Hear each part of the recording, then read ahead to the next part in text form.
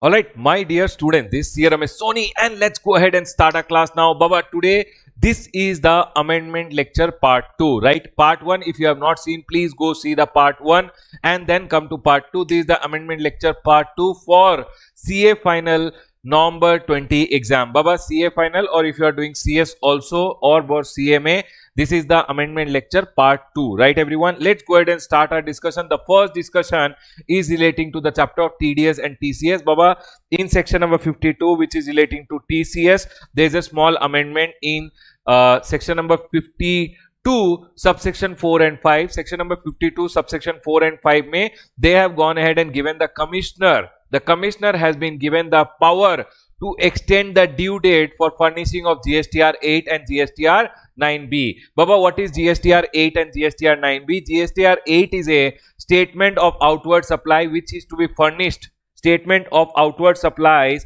basically which is to be furnished by a TCS collector. An e-commerce operator who is required to collect TCS, he has to submit one monthly statement which is GSTR 8 and Baba one annual annual statement he has to furnish annual statement he has to furnish which is GSTR 9B. Now these two state these two statements which were there Baba for this if any extension of due date had to be done Baba one removal of difficulties order had to be issued by the CBIC basically earlier whenever any due date extension of GSTR 8 and GSTR 9B had to be done there had to be a removal of difficulties order which had to be passed and the uh, due date was extended now commissioner has been empowered and commissioner can go ahead and baba he can go ahead and extend the due date for furnishing of GSTR 8 and GSTR 9B that's all is the amendment I have written the crux. Let's read the crux. It says Commissioner empowered to extend the time limit for furnishing of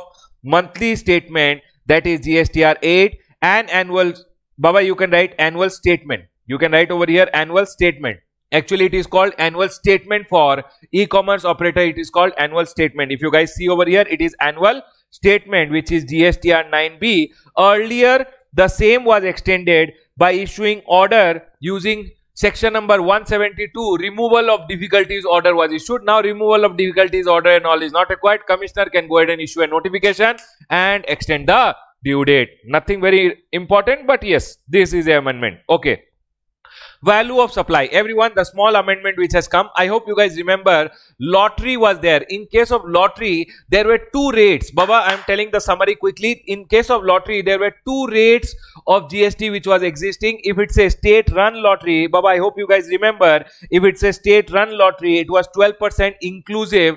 And if it was a state authorized lottery which could be sold in other state also it was 28 percent gst now baba I believe 35th or 38th GST Council meeting. In that what happened, the states went ahead and told since the lottery is a sin item, in case of sin item 12% rate should not be there. Sin items where 28% rate should be there. And the gst council meeting may they went ahead and voted. And baba that was the first time voting system was used. And in the vote it was decided that for lottery no more 12% and 28% GST rate will be there. One uniform rate one single rate is prescribed now for whether it is state run or state authorized lottery. Whatever lottery baba for lottery they have gone ahead and told we will have only one single rate which is 28% i hope everyone is clear. Yes sir. Rule number 31a sub rule 2 now prescribes single rate of tax on lottery 28% as compared to the earlier rate of 12% on lottery which is run by the state. Lottery run by the state means which can be uh, sold only in the state in which it is organized. Basically, it is written over here. Lottery run by the state government means lottery not allowed to be sold in any other state other than the organizing state. But if it is a state authorized lottery, state authorized lottery means a lottery which is authorized to be sold in other state other than the organizing state. But now this organized state run, state organized, all these are not there. Lottery pay, one uniform rate of 28% has now been prescribed. Everything remains same how it was earlier only, but now the rate on lottery is now how much? 28%. Everyone.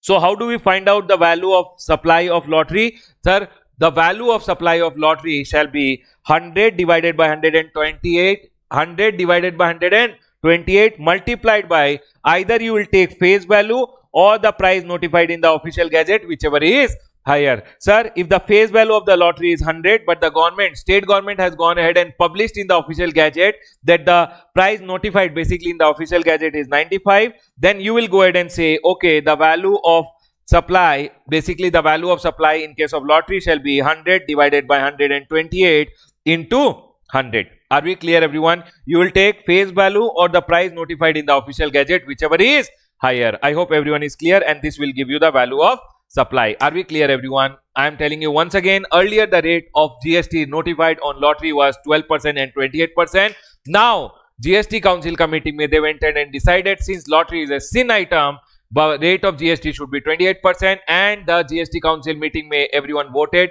and in the voting the result came wherein 28% lottery pay rate was decided. Are we clear everyone? Yes sir, we got it. Let's go ahead. Uh, one minute everyone. Now, the next amendment. The next amendment relates to the chapter of assessment. Everyone listen to me very carefully. Assessment chapter there is the next amendment. I hope you guys remember assessment. Yes, sir, we do remember. Everyone with me. Assessment chapter, section number 59 told about self-assessment. I should self-assessment liability and pay it to the government. Provisional assessment. Sir, if I am a taxable person, I am unable to determine the value or I am unable to determine the rate, then I have to go ahead and approach the officer and get provisional assessment done. Scrutiny of return. Scrutiny of return. Officer will go ahead and scrutinize my return. If he finds any discrepancy, he will ask me. I have to go ahead and pay the tax interest penalty or I'll have to go ahead and furnish an explanation. If he finds my explanation good, then Baba, he will go ahead and say, okay, chapter closed. But if he doesn't find my explanation good, you remember, he will go ahead and do inspection, search, seizure, audit, special audit, demand and recovery can come. I hope you guys remember. Then Baba, the next one, section of 59 60 61 62 which was there 62 was talking best judgment assessment of non-filer of return baba if you are a non-filer of return section number 62 was talking about best judgment assessment of non-filer of return and best judgment assessment of unregistered person we are talking about best judgment assessment of non-filer of return. It means I am a registered person. I have taken registration but I am not going ahead and filing my return. If I am not filing my return, the officer can go ahead and do my best judgment. Baba, but for doing best judgment, he has to first issue me a notice under notice under section number 46 then he will have to then he will go ahead and do all the proceeding now what was happening was different officers were uh, having different approach for doing the best judgment of non-filers of return now the CBIC went ahead and told, okay Baba officers, we will tell you what is the standard operating procedure you officers will have to follow to do the best judgment of a non-filer of return. So Baba, if I'm an officer, I should follow the standard operating procedure. This is not from the point of view of taxpayer. This is from the point of view of officers. Officer when he wants to do non-filer of returns ka best judgment assessment, what is the procedure the officer should have. Are we clear? What is the standard operating procedure to be followed by to be followed in case of non-filers of return? Baba,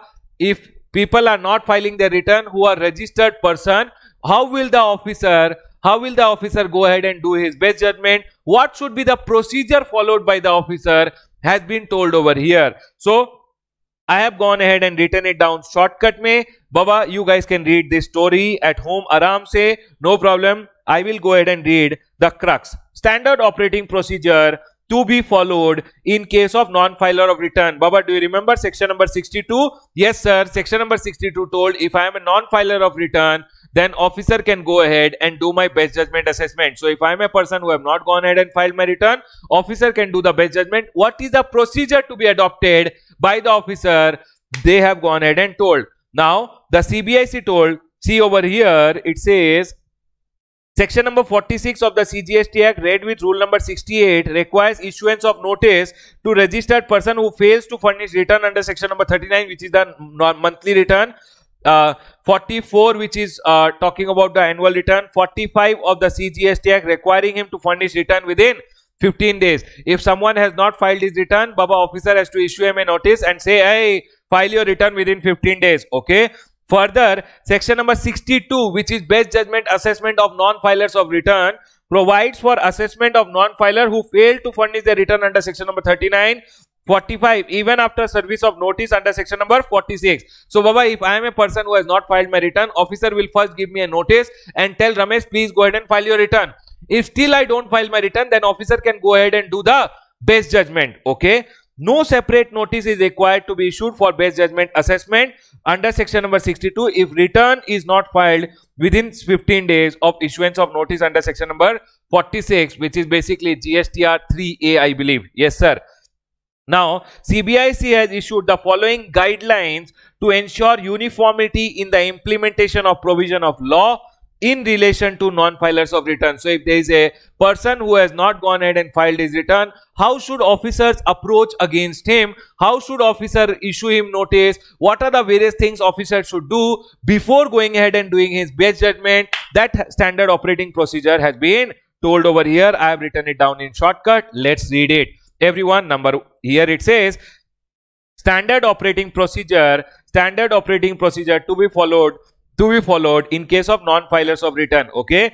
Preferably preferably a system generated message to all registered person three days before the due date. Three days before the due date of return one system generated message automatic message should go all to all the return all the people basically to all the registered person to alert him hey file your return file your return. So basically first of all what is the standard operating procedure? First of all one preferably it is not mandatory. They are telling preferably one automatic message should go to all the registered person to move them hey time to file the return has come. Please file your return. 3 days before the due date. Okay. Immediately after the due date once the due date gets over a system generated mail or message would be sent to all the defaulter. So baba First of all, I'll receive a message saying, Ramesh, file your return, wake up. Now, if I don't file my return, one mail will come, system generated, automated mail will come to me, basically to all, see, message will go to all the registered person that please file your return three days before the due date. Now, once the due date gets over, they will see, basically whoever are the defaulters who have not filed their return, there they are telling the said mail is to be sent to the authorized signatory. Whoever is the authorized signatory, he will receive a mail as well as the proprietor, partner, karta, director. Basically, they are telling authorized signatory can be my manager also. Along with the authorized signatory, anyone else who is there, who is basically the CEO, managing director, karta, they should also receive the mail. Are we clear? Yes, sir. Next. Five days. So, Papa, first of all, one message should go. Once due date gets over, whoever has defaulted to them, one mail also should go okay? Now five days after the due date. Now once the due date gets over automated mail went after the automated mail if they go ahead and file the return very good. Otherwise five days after the due date a notice in GSTR 3 basically under section number 46 notice under section number 46 this is which is GSTR 3A notice in GSTR 3A that you have not filed your return. Please go ahead and file your return within 15 days. Otherwise we'll go ahead and proceed for best judgment assessment. That notice should go. Requiring registered person to furnish the return within 15 days. The notice will tell hey you did not file your return. File your return. Otherwise we'll go ahead and do best judgment. Okay? If return is not filed, you are such a useless person. Within 15 days also you have not filed your return. Then they are telling the POs may do, PO may, may. It is not mandatory. PO may do best judgment assessment under section number 62 and issue order in ASMT 13. One minute everyone. The PO may proceed to assess. Yes. Okay everyone. Okay. And also upload summary. So basically what will happen? First of all, they will send you one mace, SMS three days prior to due date. Every registered person will receive. Once the due date gets over, defaulters will receive a mail. After five days of the due date, you will be sent one notice if you don't file the return. Once now you will receive the notice. Okay. Now, if notice once you receive the notice, if return is not filed, the PO means within 15 days you did not go ahead and file your return. Now also then PO may do the best judgment under section number 62 saying that no best judgment assessment of non-filers of return under section number 62 and he will issue a assessment order. Hey you did not file your return. This is your assessment order take it are we clear everyone? He will do the assessment and he will give you a assessment order that this is the amount of tax whatever it is assessment order with penalty interest everything he will give it to you. And also he'll upload a summary online basically on the portal. He will upload a summary in gst drc 0 7. Online in the portal, he will upload a summary. For assessment, the PO may take. Now, Baba, PO is doing best judgment assessment. Best judgment means you have not filed your return. He is applying his brain.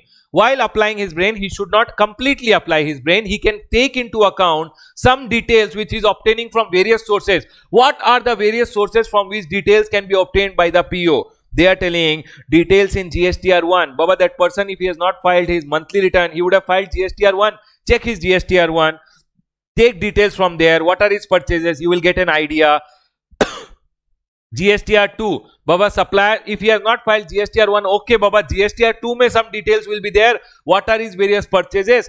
He would have filed e-way bill. Take his e-way bill kind information. Somebody would have sent him goods. They will, they would have put his name in e-way bill see the e-way bill ka detail which are goods which are sent to him or goods which are sent by him e-way bill ka details you take. Any other information available from any other source including inspection under section number 71 officer if you have got any inspection done of his premises get inspection done of his premises get some details from there.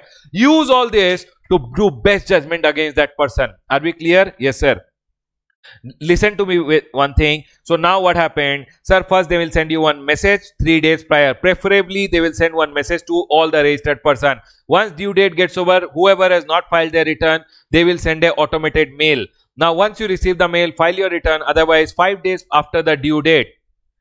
File your return. Otherwise five days after the due date you will get a notice under section number 46 which is notice gstr 3a now, if you file your return within 15 days, very good. Otherwise, PO will go ahead and do your best judgment.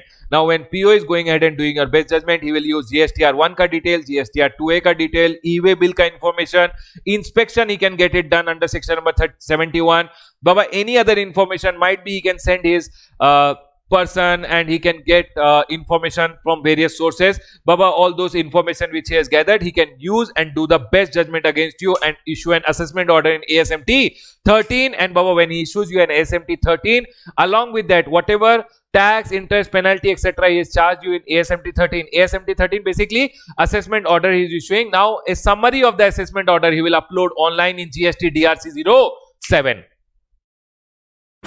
got it? Yes sir. Next now, once he gives you an assessment order, no, you saw the assessment order, assessment order came. Now, do one thing, go online, make the return, file the return, make the tax payment, close the chapter, no problem. If you do this within 30 days, assessment order which is given to you, no, it is deemed to be withdrawn, gone, assessment order is waste. What did I hear? Okay, leave it. Now, assessment order is deemed to be withdrawn. If defaulter furnishes a valid return. Valid return means, what do you mean by return? Return means just a return. Valid return means return in which all the tax, interest, penalty due has been paid. So if you go ahead and furnish a valid return in which basically you have paid your tax interest penalty within 30 days of the service of the assessment order, you receive the assessment order. Once you receive the assessment order within 30 days, please go ahead and make the tax payment. Assessment order shall be deemed to be withdrawn.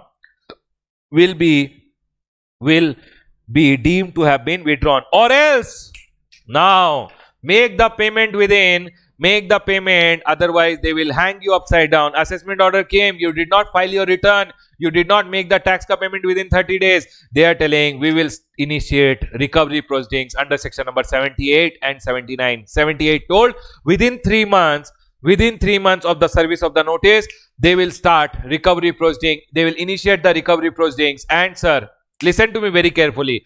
If you make the payment if you make the payment within 30 days the assessment order which came will be deemed to be withdrawn.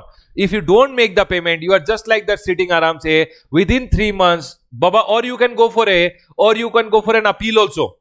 Within 3 months go for an appeal. Or else within 3 months they will go ahead and start they will go ahead and initiate recovery against you. Recovery means they will hang you upside down and take out the money from you. Go read section number 78 and 79. 78 says within three months, if you don't go ahead and make the payment basically, or you go for an appeal, then they will go ahead and initiate recovery proceeding. One initiated recovery proceeding, they will go ahead and start recovery from you. How they will recover, that is told in section number 79. I have gone ahead and taught you section number 79 in de demand and recovery chapter. Please go ahead and read once. Sir they will do garnishee proceedings against you. Third party had to pay you. They will take it from your third party. They will sell your movable immovable property. All those they will go ahead and initiate and they will recover from you. Are we clear everyone? Yes sir.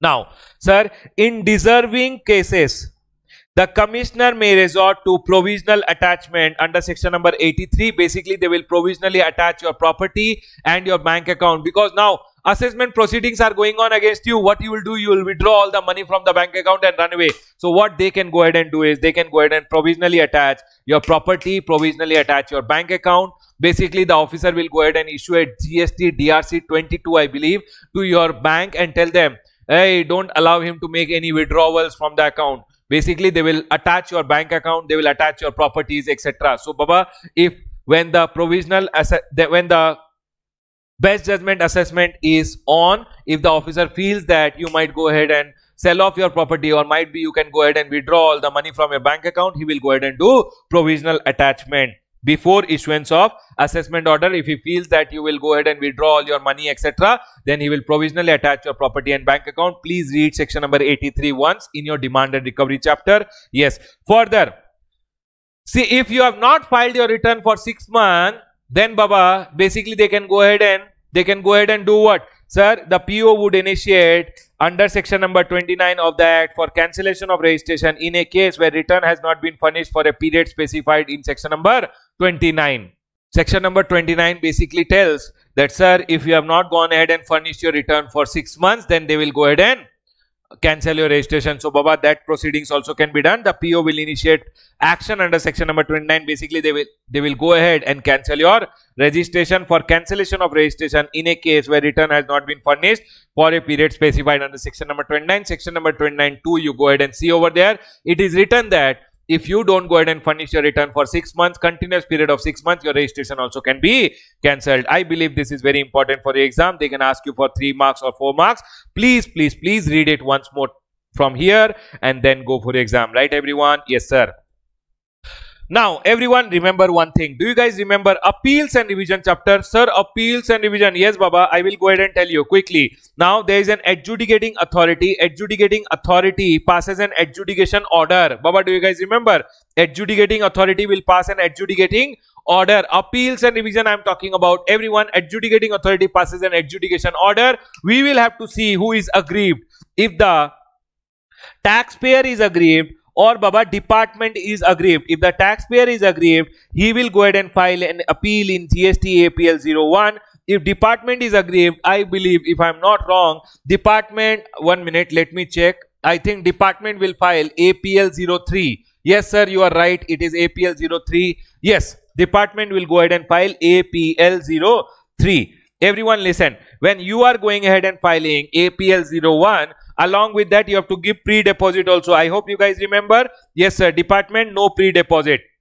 Now, you have to go within three months plus one month condonation of delay can be done by the appellate authority. Appellate authority. Yes, sir. Appellate authority, you will have to go. Now, department, if it wants, it can go within six months plus one month. Now, if department does not go within six months, department had one more option Department had one more option. If department did not go for an appeal within six months, now department what it can do is it can get it can get the revision of the order which was passed by the adjudicating authority adjudication order which was there. Department had to go for an appeal. Department did not go for an appeal within 6 months. Now department had one more option. Department can go for a revision revision to the revisionary authority. I hope you guys remember revisionary authority was there. Revisionary authority can go ahead and revise the order which was passed by the adjudicating authority which was the adjudication order.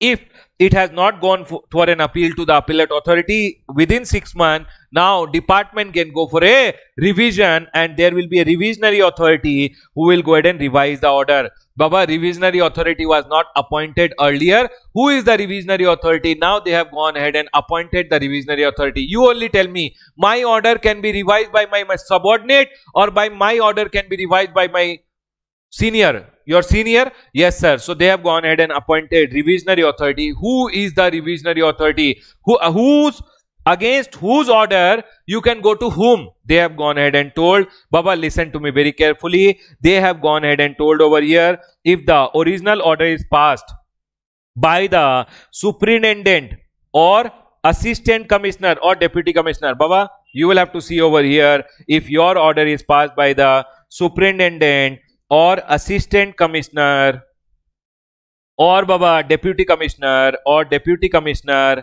then who are the higher authorities than them?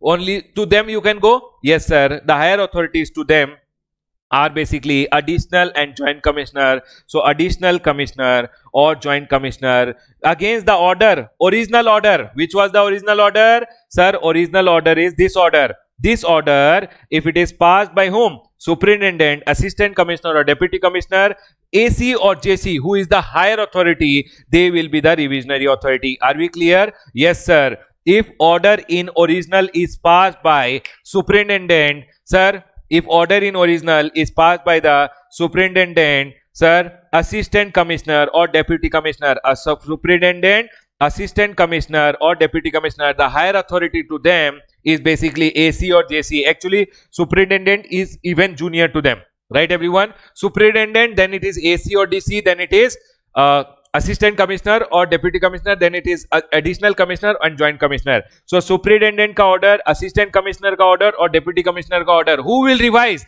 Sir the revision can be done by assistant commissioner or joint commissioner. Sir if order in original is passed basically the adjudication order the original order is passed by the ac or jc then who will revise? The higher authority than them.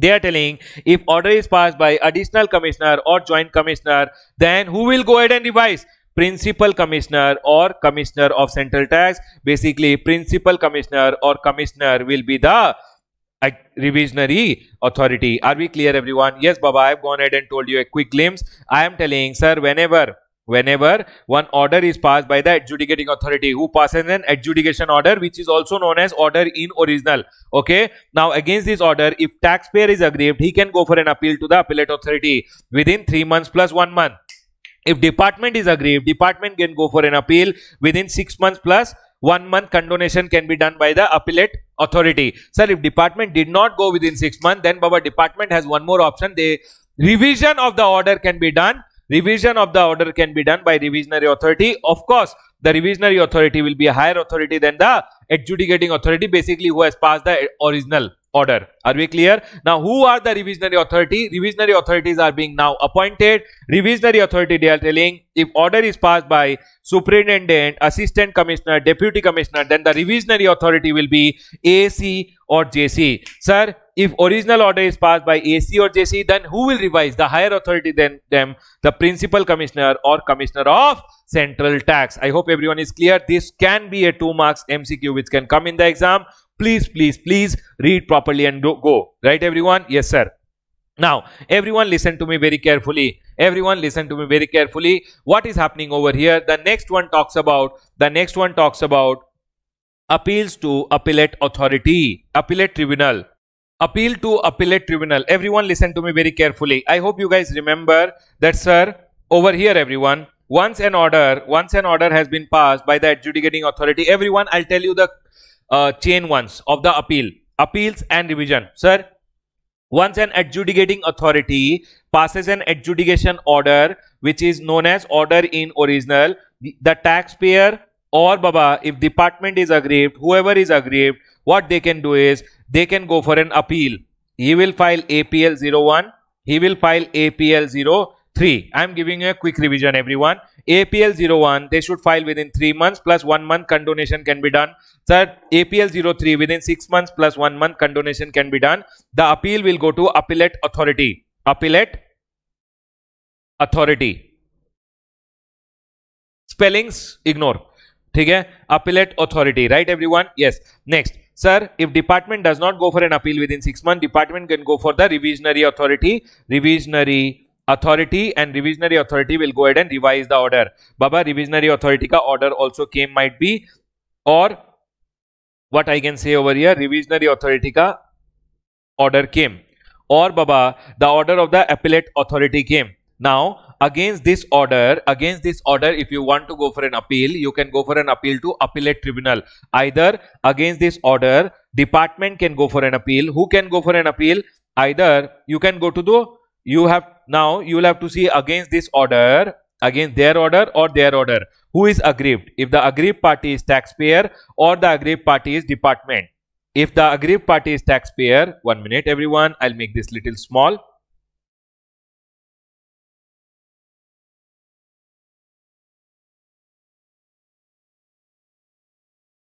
Yes. Huh. You will have to see whoever is aggrieved. Now, whoever is aggrieved, you will have to see if the taxpayer is aggrieved or department is aggrieved. Taxpayer can go for an appeal to the appellate appellate tribunal. Baba, they will have to go to the appellate tribunal. He will he can go for an appeal. If taxpayer is aggrieved, he can go for an appeal within three months. Plus three months ka condonation of delay can be done by the appellate tribunal.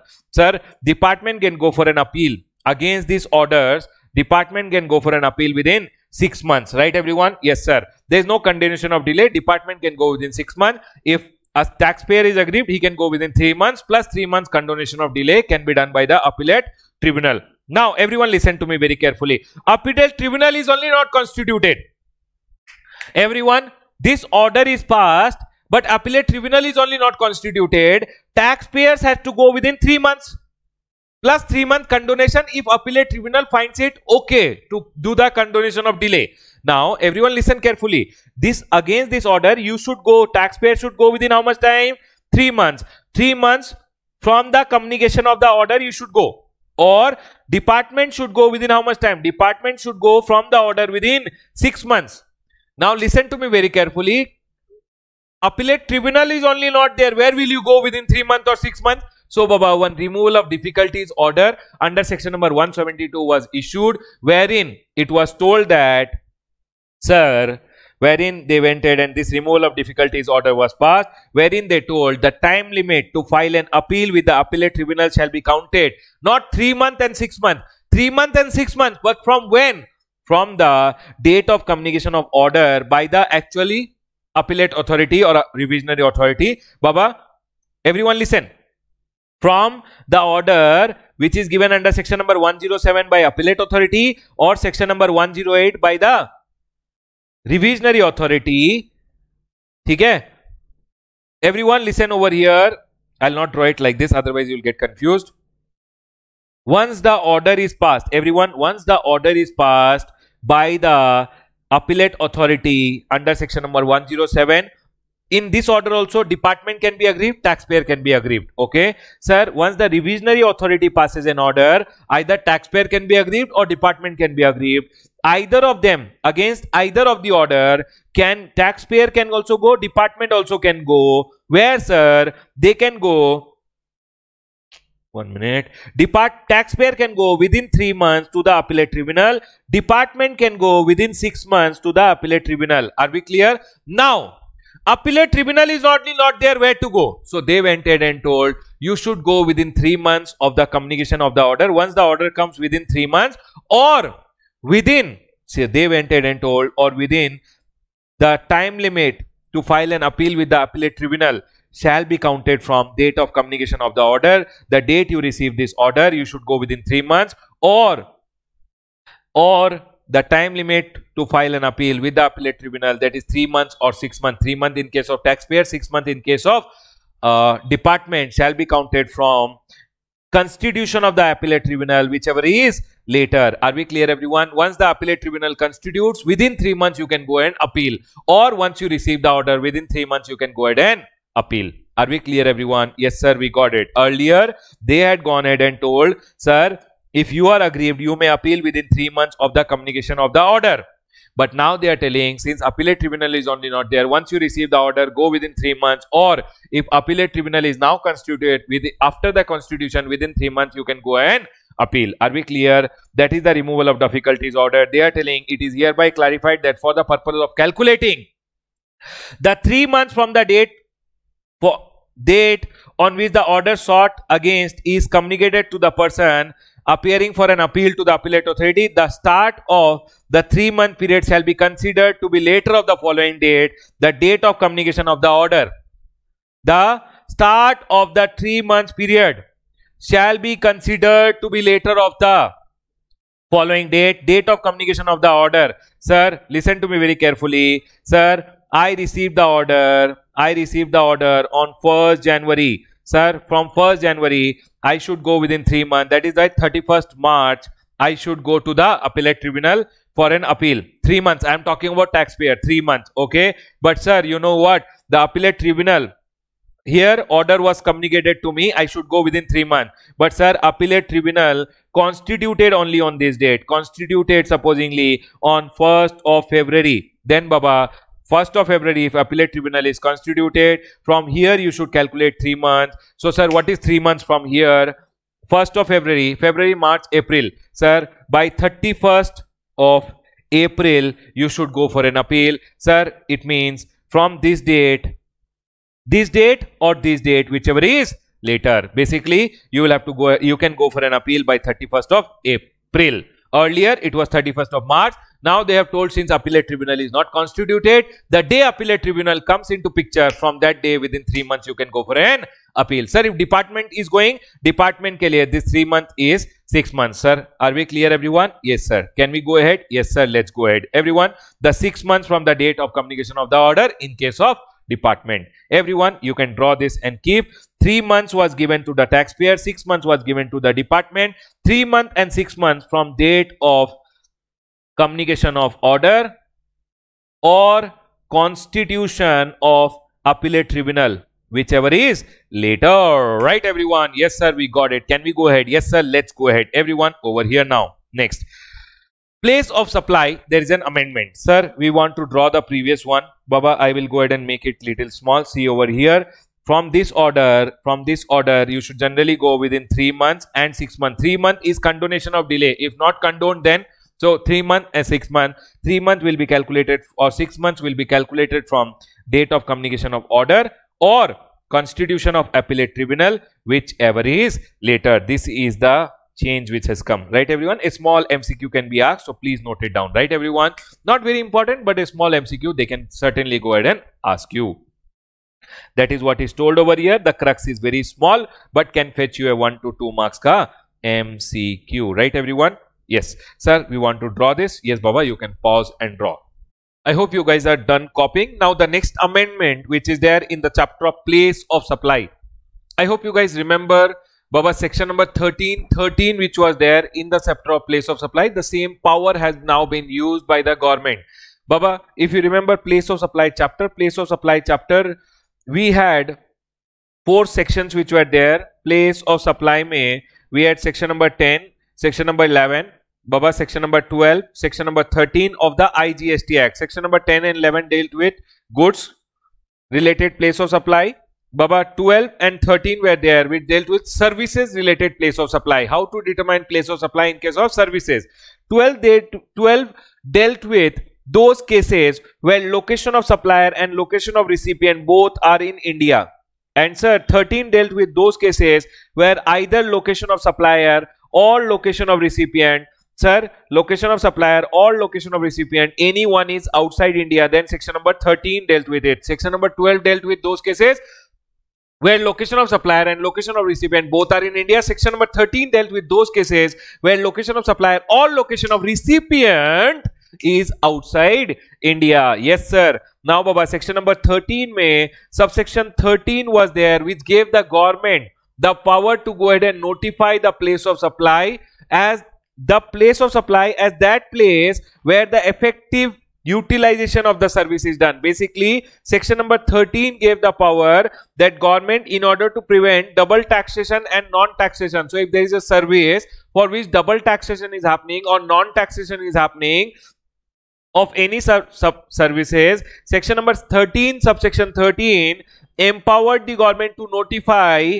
any service for which the place of supply shall be the place of effective use and enjoyment of the service. Where the service has been effectively used or enjoyed that will be the place of supply. Government can notify those services right? Now government in the previous attempt also had notified one service. Now the second service which is being notified by the government now services by repair and maintenance maintenance repair and overall services repair maintenance repair and overall services. We'll call it mro services. Maintenance repair overall service.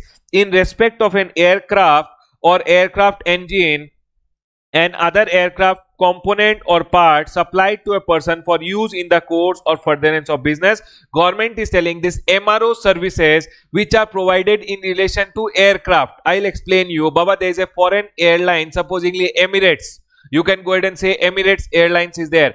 Emirates ka one plane came to India for repair and maintenance. What will be the place of supply in that scenario? Now you will go ahead and tell me. Everyone listen. If MRO service provider. Everyone listen to me very carefully. MRO means maintenance, repair and overall services.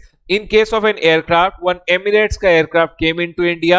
Now the Emirates aircraft wants to get maintenance done or overall services done or any repair services done in India. Now what will be the place of supply? Baba Emirates is located outside India. We are located in India. I'm not talking about India and India. Where is the supplier? supplier is in India, Indian person who is going to do the overall repair and service. Everyone listen, this is India from uh, outside India, supposedly Dubai. Emirates airline came to India and Baba it is getting overall services done. Overall means repair or Baba maintenance service or Baba basically uh, maintenance services. So it has some problem in the airline. It wants to get repair done. So from outside India, Dubai, one uh, plane came to India, Emirates ka plane. Location of supplier. Who is going to do the service on this plane? Location of supplier is in India. Sir, location of recipient. Emirates is basically registered in Dubai. So, location of recipient is outside India. Now, they are telling when supplier repair, maintenance repair, overall services, while a supplier is in India. Sir, recipient is outside India Baba, if you apply section number 13.3a, section number 13 subsection 3a went ahead and told that whenever any services are provided in relation to goods which are made physically available i'll show you section number 13 baba i am going to my textbook. In my textbook i am showing section number 13 3a services supplied in respect of goods. Plane came to india which are required to be made physically available. Plane is made physically available to the person for repair or maintenance or overall in India. Yes, by the recipient. Recipient is outside India to the supplier. Supplier ko is given the plane to a person acting on behalf of the supplier of service in order to provide the service. Then they are telling in this scenario the place of supply shall be the location where the services are performed. It means place of performance is the place of supply. So in this scenario, if you see, everyone listen to me very carefully. In this scenario, if you see, one minute, when the plane came to India, sir, location of supplier is in India, place of performance is in India. So they went ahead and told section number 13.3a was applied now, if department applies section number 13.3a, department will say place of supply is place of performance that is India. Now, you tell me one thing, everyone here. Now, if place of supply is in India, sir, place since place of supply is in India, services do not qualify for zero rated. Baba, what do you mean by zero rated supply? Supplier is in India, recipient is outside India. These two are satisfied. Supplier is in India, recipient is outside India place of supply is outside India and what you are receiving is foreign convertible currency, then it is zero rated supply. Here, place of supply should have been outside India, but place of supply is in India.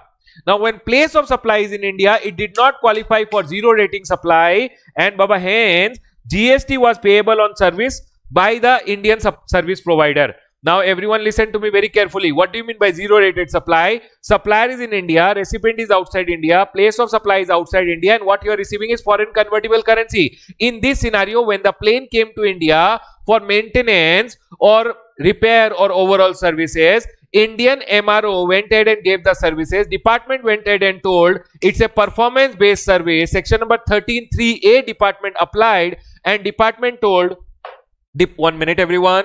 Department told since the place of supply since the place of supply is in india it will not qualify for zero rating supply. And baba hence the indian maintenance repair overall service provider had to go ahead and pay gst on this service. Okay? This was the first problem. Okay? So baba government went ahead and told in this scenario government went ahead and notified that since since the effective use of the service is outside India, Emirates is outside India, place of supply shall be location of recipient. Now tell me one thing. Section number 13.3 may government went ahead and told place of supply is location of recipient which is outside India. Now will it qualify for zero rating? So yes sir, supplier is in India, recipient is outside India. Indian MRO giving services in relation to aircraft, recipient is outside India. Place of supply applying section number 13.13 is also outside India. Sir, what we are receiving is foreign convertible currency, then it will become export of service. I hope everyone is clear. since now eligible for zero rating benefit, services will now be eligible for zero rating benefit because place of supply is outside India. Earlier, what was the problem over here? The problem was department was telling that, sir, MRO services, place of supply will be in India because place of performance is India. But then government went ahead and told, applying section number 1313, government went ahead and notified, notified that in case of MRO services, place of supply shall be outside India. Now, if place of supply is outside India, place of supply is outside India, then Baba, it will become zero rating supply because supply is in India, recipient is outside India, place of supply is outside India. What you are receiving is foreign convertible currency, then it will become zero rating supply. And if it is zero rated supply, the Indian MRO does not have to pay GST and he can claim ITC refund. I hope everyone is clear. Yes, sir, we got it. Next. Now, the next problem which came over here, the next problem which came over here was, sir, supplier is outside India. Okay, US may India say one plane went. Baba, Indian company is there. Indian company is there. We'll tell Kingfisher, Kingfisher Airlines, which is registered in India. Sir, Kingfisher gone. Yes, Baba, gone, but still we'll take example. Kingfisher Airlines in India went from India or okay. No, sir, I don't like Kingfisher. You please don't take example. Okay, we'll not take the example. We'll take the example of Indigo. Indigo in India. Indigo ka one plane went to the US. Okay, it went to the US Baba, US may it went for repair services. Now, location of recipient is in India.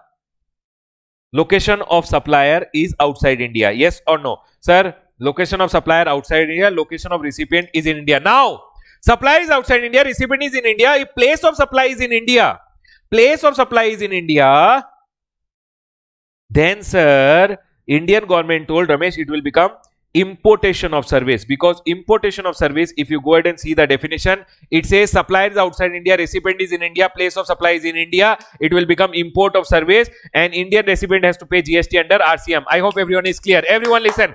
Supply is outside india recipient is in india place of supply in, in india. Then baba it will become importation of service and rcm may gst has to be paid. Yes or no? Yes sir. But let's see what is the place of supply Baba, section number 13.3a told place of performance. When goods are made physically available, place of performance is the place of supply. Place of performance is outside India. Hence, in this scenario, place of supply is not in India. When POS is not in India, POS is outside India, PS is outside India. It never became importation of service. When it is not importation of service, it RCM cannot be applied. Indian government was losing out the revenue over here. So they went ahead and told everyone listen. Sir, what happened over here? Sir, I'll tell you once again. Location of supplier. Sir, Indian Indigo Airline went to the US. Indigo Airline went to the US. Okay. I love drawing. Yes. Indigo Airlines. Sir, location of recipient India. India.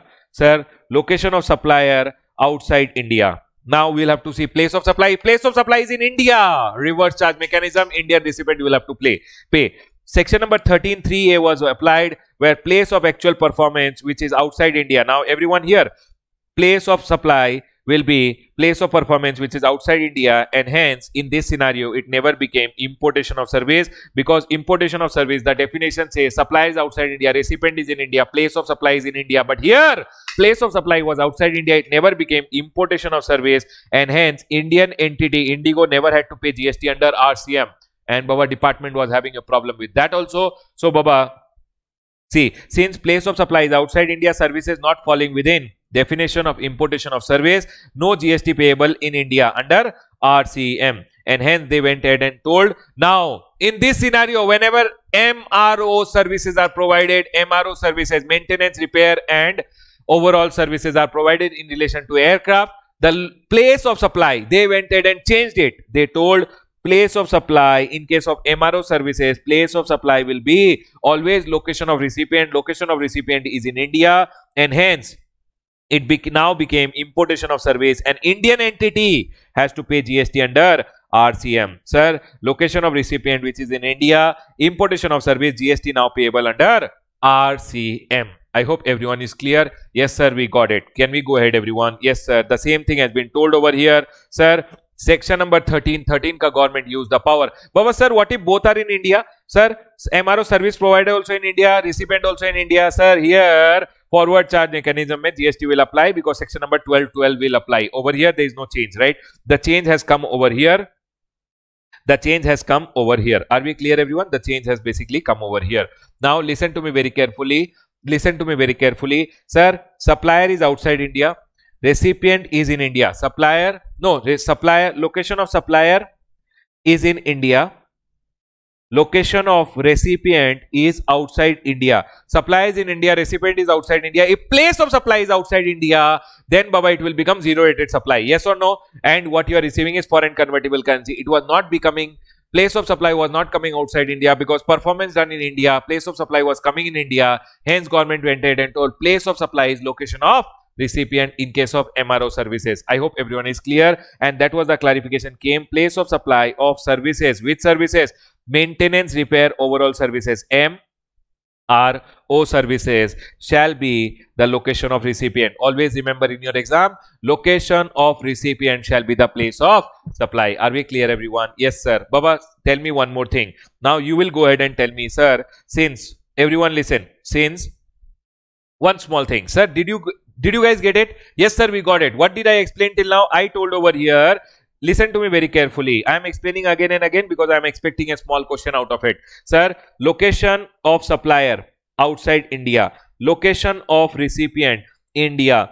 Sir if now if one location of supplier indian airline went from India to outside India to get an MRO service done. Sir, location of supplier is outside India. Sir, if you apply section number 13.3a, place of supply also came outside India and hence it never became importation of service. When it was never importation of service, RCM did not come. Are we clear everyone? Yes. But then government went ahead and made a change and government told we will not go ahead and find out place of supply by applying section number 13.3a. Government used the power under section number 13.13 and government told place of supply is location of recipient. Supplier is outside India, recipient is in India, place of supply is in India. Now, here place of supply is in India and government went ahead and told it will become importation of service and Indian entity has to pay GST under RCM. Are we clear everyone? Yes sir, we got it. That was the small change which was brought in by the government, right? I have gone ahead and told you for your exam purpose what are you going to follow over here sir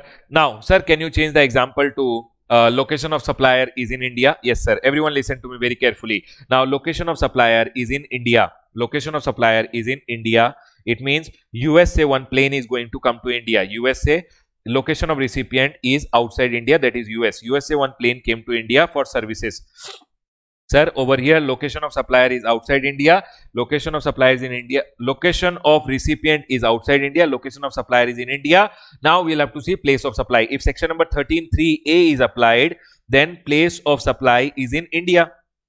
If place of supply is in India, sir, supply is in India, recipient is outside India, place of supply is outside India, then it becomes exports. Yes or no? And zero rate ka benefit can be given. But here place of supply came in India and hence Baba zero rate ka benefit was not given to this Indian entity. Are we clear? So government went ahead and told will not apply section number 13.3a. We'll apply section number 13. Government went ahead and applied section number 1313 and told in this scenario whenever it is maintenance repair overall services which are provided in relation to aircraft location of recipient is the place of supply location of recipient is outside india everyone suppliers in India, place of supply is outside India. Sir, look, supplier is in India, recipient is outside India. Supplier is in India, recipient is outside India, place of supply is outside India. Now, if he pays you foreign convertible currency, it will become zero rated supply and the IGST which is there is not payable. You can give an LUT and provide these services. Are we clear everyone? Yes sir, we got it. Now everyone listen over here. Here there can be a small debate also which can come wherein you can go ahead and say sir there is a proviso which was there already wherein nothing contained in this clause shall apply in case of services supplied in respect of goods which are temporarily imported into India. Everyone listen to me very carefully. For repair or for any other treatment or process and are exported after such repair or treatment without being put to use in India other than, so Baba in this scenario general rule section number 13 2 will apply. Are we clear? If something has come for repair. So, Baba, in this scenario, in this scenario you can also go ahead and say baba in this scenario you can go ahead and say supplier is in india if from outside india one plane has come for repair general rule will apply and baba you will not go ahead and apply this rule the new provision you will not apply and you can also go ahead you can also go ahead and say that section number 13 through 2 will apply which anyway says location of recipient is the place of supply. Are we clear everyone? That stand also can be taken. Are we clear everyone? Yes sir. Baba this amendment is not required over here. This amendment will not be required in case of in, in case if a plane comes from outside india for a repair in india because in india here one proviso is already there in section number 13.3a the proviso says whenever something comes for repair to india the place of supply is location of recipient. If supply is in india recipient is outside india section pro, applying this proviso place of supply is outside india place of supply is outside india then sir anyways if he goes ahead and pays foreign convertible currency it will become export of service and zero rating ka benefit can be taken. This amendment was basically brought for this second one. Are you guys able to understand? Yes sir. But for your exam please be careful. Whenever baba for your exam only this much you need. Whenever mro services are provided eh, maintenance repair overall services are provided in relation to aircraft location of recipient is place of supply. Location of recipient is place of supply. This one line you have to remember. In case of MRO service, in respect of aircraft, place of supply is location of recipient. Are we clear everyone? Yes sir, we got it. Can we go ahead? Yes sir, let's go ahead. Everyone over here now. Section number 89.4. Baba, do you guys remember section number 89? Rule number, sorry, rule number 89 sub rule 4. Baba, in uh, 89 sub rule 4, there is a small change which has come. Baba, everyone listen to me very carefully. Do you guys remember whenever you were calculating, when you were calculating how much is the refund which you will have to take, ITC ka refund. ITC ka refund. Sir, whenever you used to see ITC ka refund, sir, maximum refund you can go ahead and take. If you remember the formula, ITC ka refund in case of zero rated supply sir zero rated supply of goods or services which were made under LUT or bond. Sir, how much is the, sir, if you give LUT, everyone, do you guys remember? Yes, sir. Sir, whenever we give LUT or bond, we don't have to pay IGST, but ITC ka refund can be taken. How much ITC ka refund can be taken? Sir, we used to write over here zero rated supply of goods plus zero rated supply of services divided by, Baba, if you guys remember, divided by adjusted turnover multiplied by net ITC. I hope you guys remember this. This was the formula for going ahead and calculating how much is the maximum amount of refund which is admissible. Whenever you go ahead and give LUT or bond, whenever you supply goods or services under a bond, you don't pay IGST. ITC which is there, the refund is given.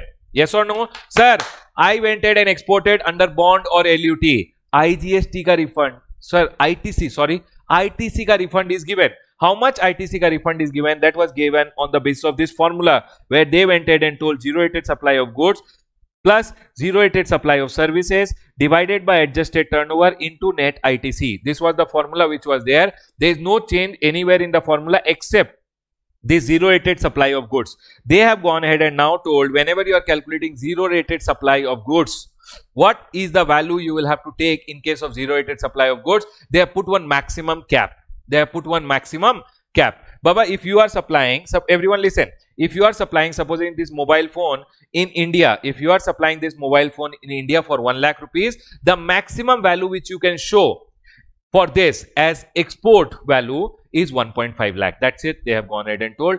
Sub, eh, zero rated supply of goods come. Maximum cap has been decided now. Everyone i'll show you with the help of an example. The turnover of zero rated supply of goods used in the above formula. Which formula? Sir i have written down the formula here also ठीक है?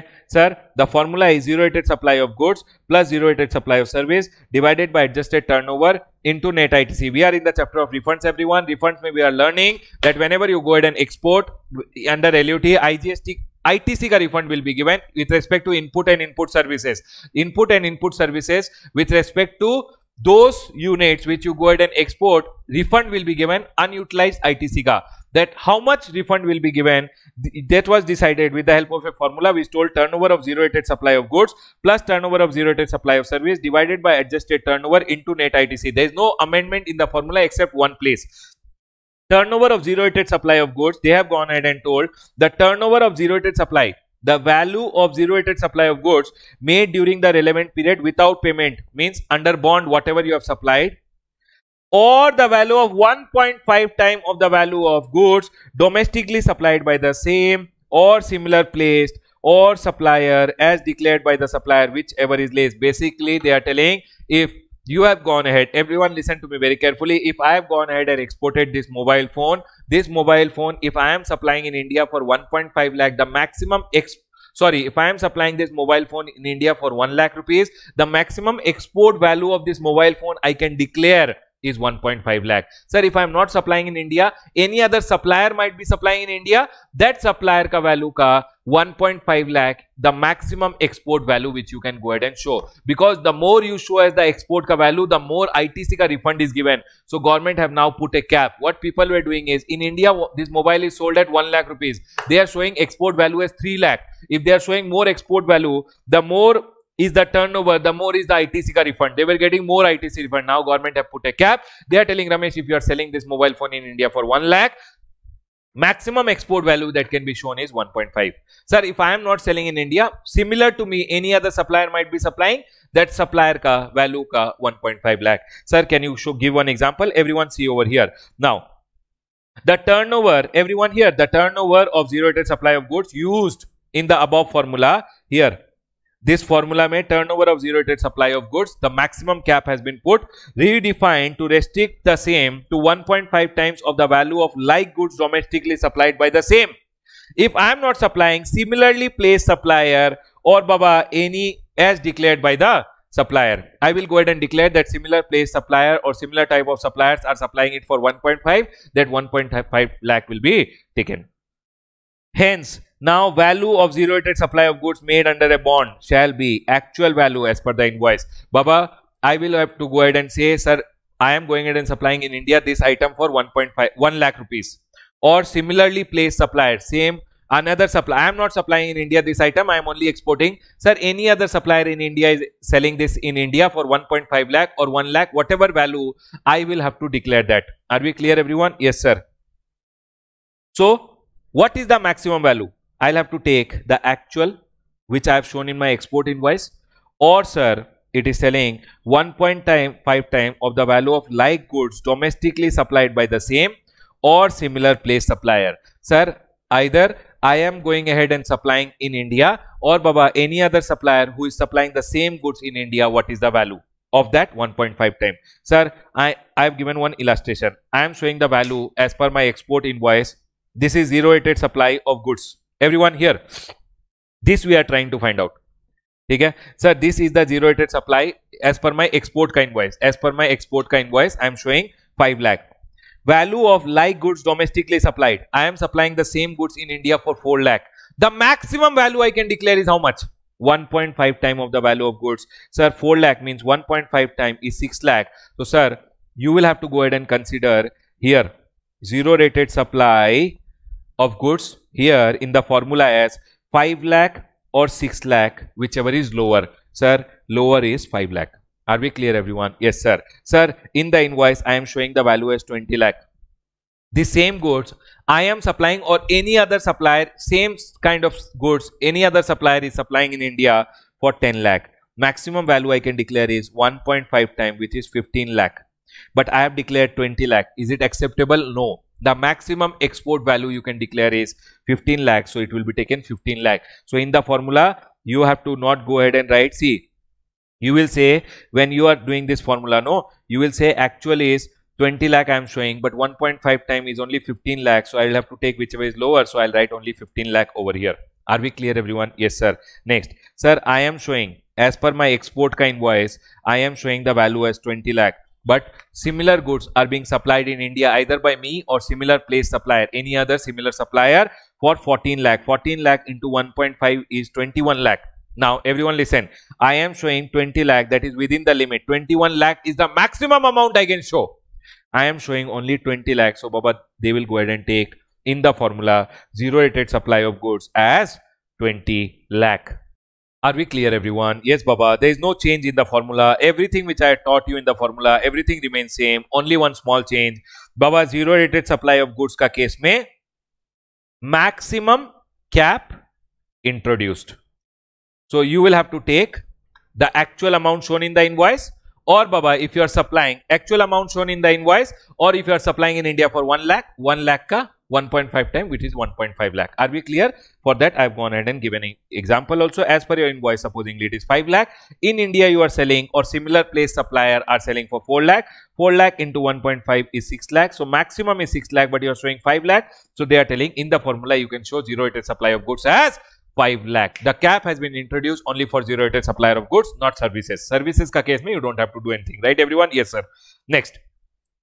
Refund to be granted both in cash and credit based on original mode of payment. Baba, based on original mode of payment, refund will be granted. We had already learned this in your payments of ta taxes ka chapter. If I have, everyone listen, if I have used, supposingly, Baba, I'll show you the example over here. I have drawn one example. Uh, yes. Huh. Supposingly, everyone listen to me very carefully. I went ahead and paid, I had an output tax liability of 10 lakh. Okay? When i had to pay in my gstr 3b my output tax liability i showed how much? 10 lakh rupees. I went ahead and used 10 lakh input tax credit 5 lakh and cash i used 5 lakh. Everyone listen to me very carefully. This you guys already know. Now 10 lakh liye 5 lakh credit i used 5 lakh cash i used. Later on i realized that i should have actually made 8 lakh a payment i have made excess payment of 2 lakh now I will ask for a refund of 2 lakh. When I go to the department and ask for a refund of 2 lakh, they will grant me the refund. Refund apply, you will apply in GST RFD 01. You applied for the refund and Baba refund was sanctioned also to you. They told, okay sir, you have paid 2 lakh rupees, extra we will give it to you. But 2 lakh total will not be given in cash. It will be given based on the original mode of payment. Originally, Sir, I had made 50% payment through credit, 50% payment through cash, right everyone? So they will tell, simple sir, 2 lakh a refund also into 5 divided by 10, 1 lakh will be given in your cash. So they will give me in my account cash 1 lakh rupees and 1 lakh rupees they will refund in e-credit ledger means it will be recredited. Recredited. Baba, I hope you guys remember when they go ahead, when they go ahead and give you the refund back in your e-credit ledger, they will give it recredit in your e-credit ledger. 2 lakh rupees say 1 lakh will come in cash, 1 lakh will go in your e-credit ledger and Baba the officer will go ahead and issue one GST PMT0, GST PMT03. I hope everyone is clear. Sir, can you please let us copy this example? Yes, Baba, you can copy this example. Pause and copy. Now, I will go ahead and do one more example. Everyone over here, supposingly, my output tax liability, my output tax liability, everyone output tax liability was uh, 10 lakh. I paid using my input tax credit 8 lakh and Baba I paid using my cash supposingly okay I paid uh, using my credit 6 lakh cash 4 lakh later on I realized my actual liability in my GSTR 3B I showed 10 lakh I used my credit I used remaining I paid through cash, right everyone? Yes sir. Later on I realized I should have made a payment of 8 lakh only. Actual liability, actual output tax liability is 8 lakh. So Baba, I will have to go ahead and apply for a refund and refund will be given refund will be given 2 lakh rupees right? Now when refund is given they will see originally you made 60 percent payment through itc 40 percent payment you did through cash. So baba when refund is also given no they will give 60 percent through credit. 60 percent they will give in your e credit ledger. E credit ledger it will be recredited. And baba 40 percent they will give you in your they will give you a cash ka refund. Basically they will give you a cash ka refund Sir, how much? 2 lakh ka 40%? 2 lakh ka 40%. Baba everyone, my mathematics is very bad. 2 lakh into 40%, 80,000 they will give you refund in cash and Baba 1 lakh 20,000 will be recredited in your e-credit ledger. Baba that's it has been told that's it has been told recredited in your e-credit ledger and when they recredit they will issue one GST PMT 03 that's it officer will go ahead and issue GST PMT 03. Nothing. If you are paid in cash, refund in cash. If you are paid through credit, refund through credit. Ref if you are paid through cash, refund in refund will be given in back to you in cash.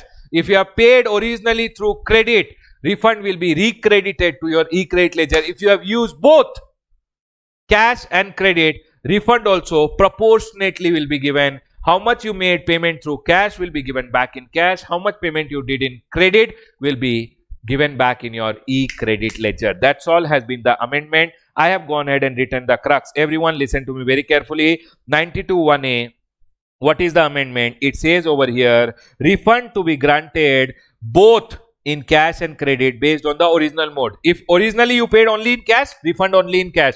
If originally you paid only in, through credit, ITC, Baba refund recredited to ITC ledger. Sir, proper officer shall make a refund order in GST RFD 06, sanctioning the amount of refund to be paid in cash proportionate to the amount debited in cash against the total amount paid for discharge of the liability and the balance shall be balance the PO shall issue PMT03 recrediting the amount as ITC in the e-credit ledger. Baba, this they have told little technically. I have gone ahead and explained you what was the actual thought. The actual thought was whatever, how you pay, uh, what is that thought? Sir, uh, so you reap. Uh, what you do, so you reap. Sir, if you paid through cash, you get in cash. If you paid through credit, you get in credit. If you paid through cash and credit, you get back in credit and cash right? Everyone simple example.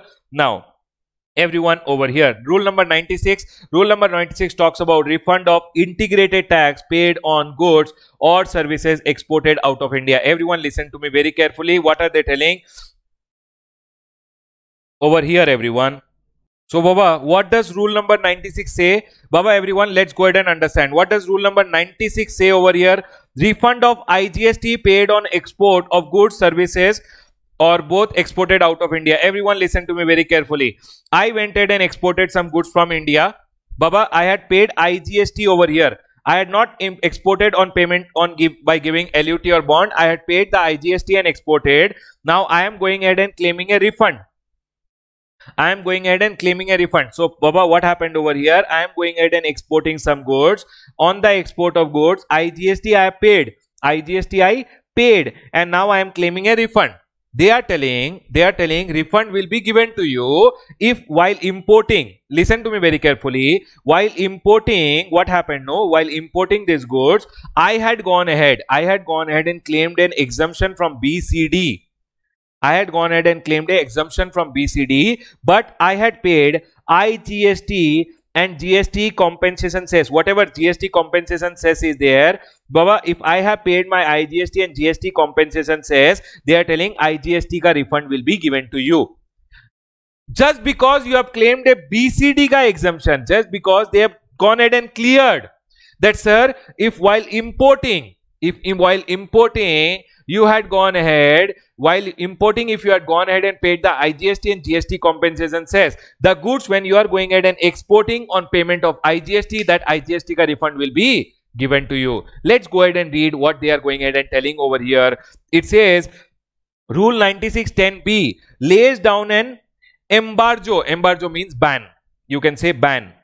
On refund claim by a person seeking refund of IGST paid on export of goods so the refund will not be given to you. When? The restriction is that such person should not have availed the benefit of exemption from IGST and GST compensation cess. Sir, if you have availed, if you have not, basically, if you have not gone ahead and paid IGST and GST compensation cess on, on your import, then refund will also not be given. Are we clear? Listen to me very carefully. Sir, I imported some goods. On that, I did not pay the IGST and GST compensation cess. If I have not paid IGST and GST compensation cess, they went ahead and told refund also will not be given to you. Okay?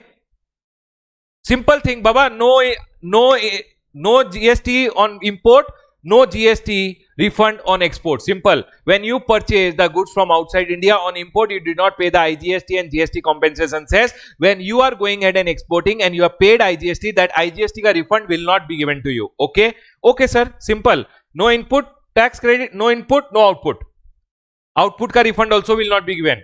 Are we clear everyone? Yes, sir. It says the restriction is that such person should not have availed the benefit of exemption from IGST and GST compensation cess for goods imported by EOU under notification number this, this, this or for goods imported under this, this, this, this, this. So sir, basically you should not have gone ahead and taken the benefit of this notification which is basically under customs. So only then the refund will be given to you.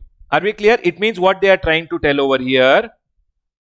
They are trying to tell that if there is a person if there is a person he is going ahead and exporting and when he has gone ahead and exported some goods which he had gone ahead and imported on importation he had to pay bcd igst gst cess which is there etc on exporting if he has gone ahead and paid igst or gst compensation cess baba listen to me very carefully. This gst ka basically he will be given a refund.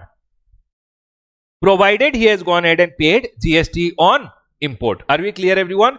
And now they have gone ahead amendment is an explanation has been inserted in this clause which clarifies that the benefit of the notification mentioned therein shall not be considered to have been availed only where the registered person has paid IGST and GST compensation cess on input and has availed exemption only of basic custom duty under this notification. What you did? No using the notification ka benefit you did not pay bcd you did not pay bcd baba when you did not pay basic custom duty does it mean that you did not pay igst and gst compensation cess also? No. You took the benefit of the notification. You took the benefit of the notification but you paid IGST and GST compensation cess. You will be eligible for a refund of your GST paid on export. Simple. Just because you availed the benefit of the notification and did not pay BCD does not make you ineligible to claim a refund of the GST paid. Because you have paid IGST and GST compensation cess on import, you will get a refund of your IGST paid on export. Just because you got an exemption from BCD does not make you ineligible to claim a refund of IGST paid on exports. That's all is told. See over here, it says over here, an explanation has been inserted in this clause which clarifies that the benefit of notification mentioned above shall not be considered to have been availed only where registered person has paid. I have not taken the benefit of this notification for my IGST paid on input and has availed only for basic custom duty under the said notification. Means you have taken the benefit of the notification only you have not paid basic custom duty. You have paid igst so it says the restriction is that such person shall not have availed the exemption from igst and gst compensation cess. Baba you will be banned from claiming refund seeking refund of igst if you have taken the benefit of the notification and not paid IGST and GST compensation cess. Here you took the benefit of the notification but you paid IGST and GST compensation cess. Hence you will be given a refund of the IGST paid. Are we clear? This one small explanation has been inserted. That's all everyone. Nothing else in the amendment. Not very important from exam point of view. There is no summary which I have given over here. You can copy this down. Right everyone? You have taken the benefit of the notification. Everyone listen. But you have claimed a exemption from BCD only. Sir, what if I would have claimed a exemption from IGST and GST compensation cess? Then this refund would not have been given to you. Are we clear? Yes, sir. Got it. Next. 96b everyone listen to me very carefully everyone listen to me very carefully what is 96b telling recovery of refund of unutilized itc or igst paid on export where goods exported where export proceeds are not realized everyone listen to me very carefully everyone over here what are the two types of export? What are the two types of export everyone? The two types of exports are export of goods. Sir, exports can be of goods and sir services. Sir, export of goods is just when the goods leave India, it is export and you are given a refund. Sir services का case में everyone listen to me very carefully services का case में location of supplier India location of recipient outside India place of supply outside India and sir foreign convertible forex is being realise only then you are given a refund this is the process in case of services baba only when you go ahead and realize your foreign currency you are given a refund. But in case of goods ka they are telling when goods leave india it is export. And baba you can go ahead and say this is a zero rated supply. Whatever itc you have paid you can claim a refund. Or if you have paid gst on export you can claim a refund right everyone? What happened? I went ahead and told it's an export and i claimed a refund you know what? In case of export of goods also you are required to realize foreign currency as per FEMA. GST may you will get the refund but later you have to realize forex under within the time frame as given by FEMA. Are we clear everyone? Listen to me very carefully what I am telling. In case of export of service though you don't get a refund only. You get a refund only after forex is realized. Basically if you have a bank realization uh, certificate or foreign currency realization certificate BRC and FIRC only then you can go ahead and claim a refund that you have realized foreign currency. But in case of export of goods everyone listen to me very carefully. Refund is given.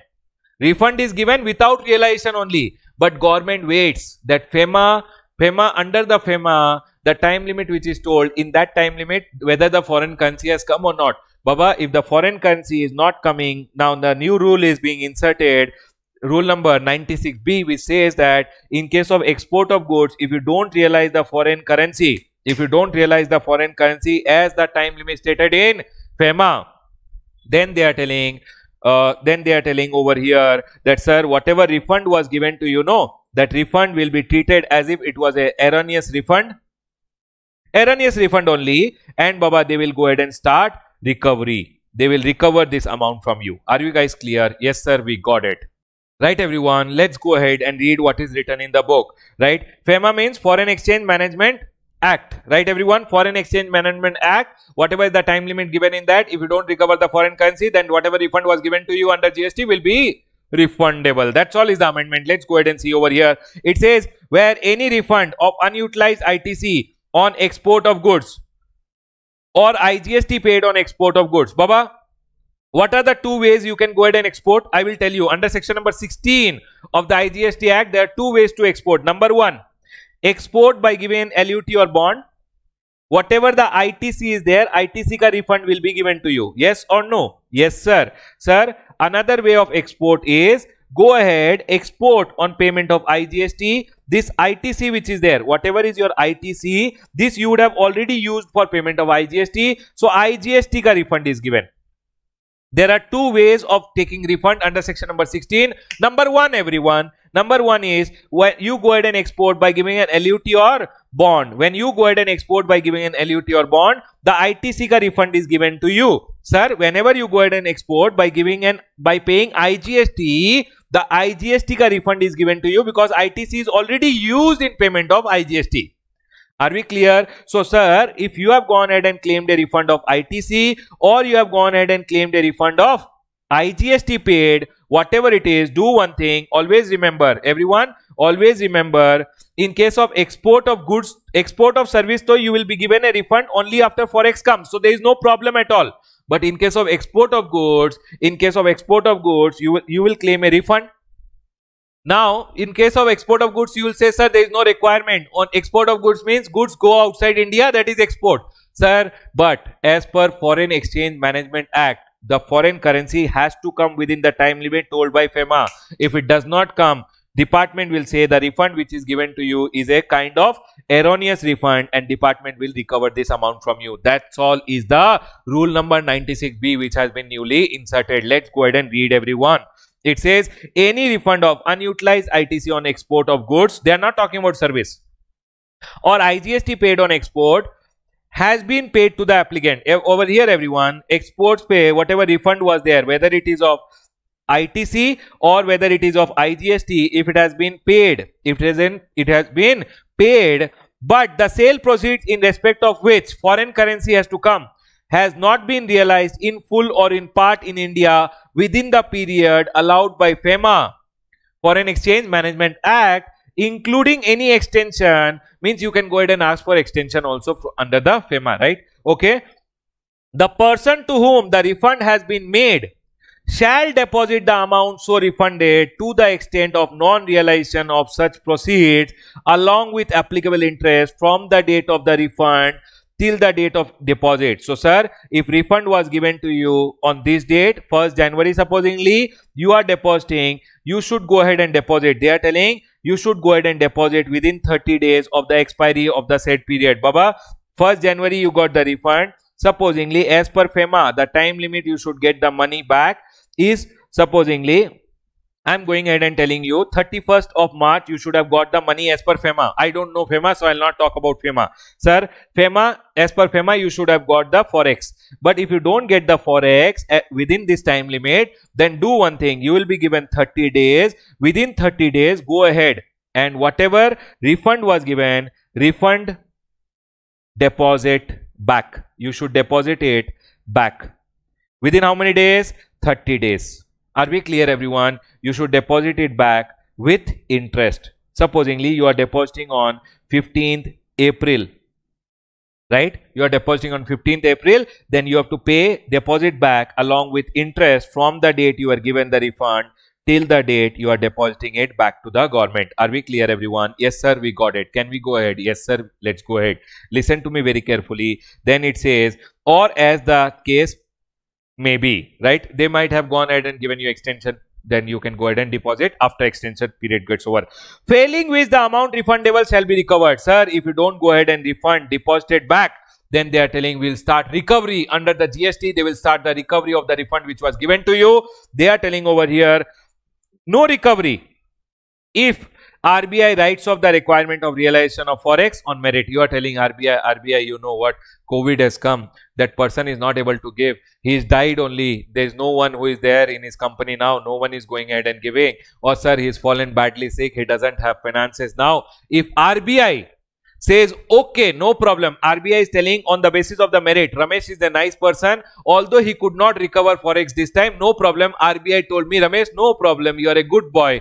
RBI left me. Then GST department also will leave me. They will not recover the amount from me. They are telling no recovery if RBI writes off the requirement of realization of sale proceed on merit. Because I was a good boy RBI told Ramesh no problem. You don't have to recover the amount. Then Baba uh, in that scenario, when I don't realize foreign currency, department also will not recover the money from me. But otherwise, if sale process, okay, if sale proceeds are not realized, then department will hang me upside down and recover the amount, right everyone? If later, supposingly department wanted me to give the money, I went ahead and gave the money, amount deposited back to the government. I gave the money back because I could not realize forex.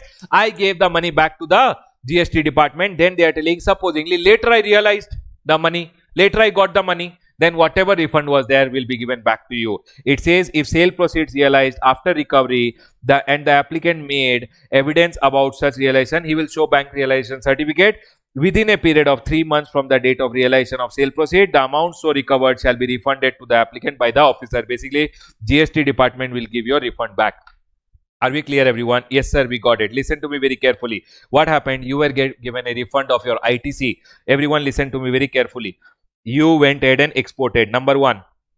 Sir, I went ahead and exported. You went ahead and exported. You did not realize foreign currency. Realization of foreign currency in export of goods is not required. You went ahead and exported. You went ahead and applied for a refund.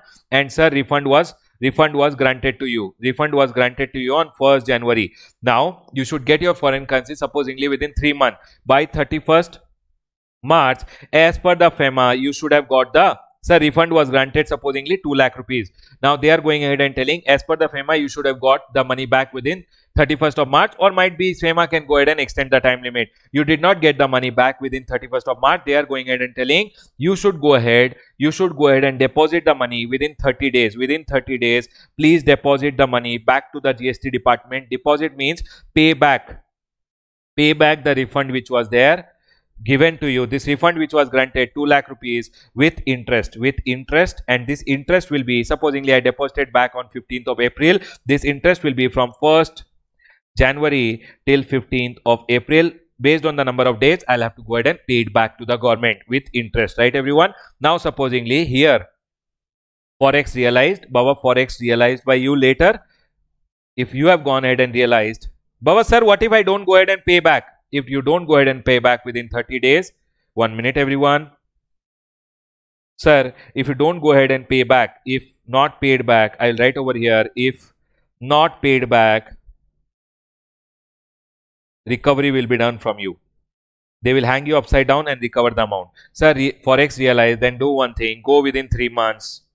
Then within three months, go with your for bank realization certificate or forex realization certificate, foreign currency realization certificate, and Baba, the refund will be given back. Whatever refund you had gone ahead and deposited, it will be given back to you. Interest, sir? Hey, interest will not be given back. Are we clear, everyone? That's it, everyone. Are we clear? That's it, is the amendment which has come. This is rule number 96B. Sir, my handwriting is very bad today. Okay. Yes, everyone got it? Yes, sir. Baba, read this again. You will be able to understand, right, everyone? What is it telling over here? I have gone ahead and explained. Sir, please go ahead. See over here, everyone. Any refund of unutilized ITC on export of goods or IGST paid. Sir, refund basically you are granted of what? ITC or IGST paid. ITC when you have given an LUT or bond, IGST when you have given an IGST ka payment, right? Then it says, but sale proceeds have not been realized in full or part within the period, then including any extension, the person from whom the refund has been made, whoever is given the refund shall deposit the amount so refunded to the extent of non-realization, not full, to the extent of non-realization. If you have recovered, if you have recovered some money, then no problem. But if you have not recovered some money, then to the extent of non-realization, you will have to go ahead and give it back along with applicable interest from the date of refund within 30 days of the expiry of the said period as the case may be. Failing which the amount refunded, whatever the amount of refund was there, that will be realized from you. Okay, sir. Next. No recovery if RBI writes off the amount and sir, if later you have gone ahead and recovered, please go ahead and give the bank realization certificate and they will give you the refund back. Are we clear? GST ka refund will be given back to you. Okay, sir. Next. Next it says determination of refundable amount, determination of refundable amount in case of refund of unutilized ITC on account of export of goods or Baba everyone listen to me very carefully please pause and copy this down right okay everyone over here they are now talking about they are now talking about the maximum refund which can be granted to you. Everyone listen to me very carefully. Sir, unutilized ITC. Everyone over here. I am going ahead. I am going ahead and exporting some goods. When you export some goods, whatever is the ITC which is there, that will be refunded to you. Sir, I exported on payment of on giving LUT or bond. When you export on payment of LUT or on giving LUT or bond, not on payment, the ITC which is there shall be refunded to you. Now, how much is the refund that will be granted to you? They have gone ahead and told the maximum amount of refund. Sir, what are you talking? The maximum amount of refund already is told as per the formula. Everyone listen to me very carefully. Everyone over here. It says determination of refundable amount in case of refund of unutilized ITC. Unutilized ITC, when do you get a refund? You get a refund only when you export or you supply to an SEZ without payment of tax और accumulated due to inverted duty structure Baba this three scenario में basically sir a person is given ITC का refund only in three scenario number one export of goods on L U LUT basically given LUT ITC का refund will be given sir supply to SEZ Sir, whenever you go ahead and supply to SEZ without payment of tax, basically if you go ahead and supply to an SEZ without payment of tax, whatever the ITC is there, that will be refund, refunded to you. And the last one over here, the last one over here is unused inverted duty structure inverted duty structure means sir when my output rate is lower output rate is 5% input pay rate is 12% then they go ahead and say inverted duty structure ka case mein rule number 89.5 you can apply and you can claim a refund here you apply rule number 89.4 Correct everyone? Yes. Here you apply rule number 89.5. Yes Baba. Now they are going ahead and telling how much is the maximum amount that will be refunded to you is as per the formula. But supposingly the formula may you entered and saw 1 lakh rupees is the refund. But in your ITC balance there is only 80,000. 1 lakh will be given to you refund. How? In your ITC balance there is only 80,000. So they will give you maximum refund 80,000. So that they have gone ahead and explained now. Everyone see over here. This was happening earlier also. See, so this is for you to read everyone over here. It says refundable amount shall be the least of the following. Number one, apply the formula 89.4 and 89.5. I hope you guys already remember 89.4 is in case of zero rated supply. 89.5 is in case of 89.4 is in case of zero rated supply when you have gone ahead and exported by giving LUT or bond or when you have supplied zero rated supply on giving LUT or bond ITC ka refund is given as per 89.4 inverted duty structure when rate of output is lower than the rate of inputs then baba refund is given as per 89.5 supposingly here it came. Baba everyone listen to me. Formula gave 1 lakh rupees ka refund should be given. Now everyone listen to me very carefully. They are going ahead and telling the amount shall be given will be the least. As per the formula it is 1 lakh. Now balance in e-cash ledger at the end of the tax period for which the refund is being filed after the after the return in GSTR 3B. Baba, it is telling balance in e-credit ledger at the end of the tax period for which the refund claim is being filed after the return in GSTR 3B. For an example, I am going ahead and claiming a refund application I am filing for the month of April. April month ka GSTR 3B filed on 20th May and Baba now I am going ahead and filing a refund application for this. And you see after the filing of GSTR 3B here ITC balance which is there after filing GSTR 3B for the month of April. Everyone listen. For the month of April this is my tax period for which I am going ahead and claiming a refund. For the month of April the ITC balance which is there after filing my GSTR 3B is supposedly 80,000. As per the formula, 89.4 or 5 ka formula when I applied, it is coming 1 lakh.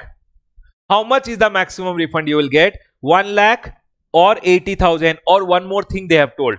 Supposingly, for the month of April, actually I went to file the refund application in the month of June. Baba, you can file within 2 years, right? So I went ahead and filed the refund application in the month of June.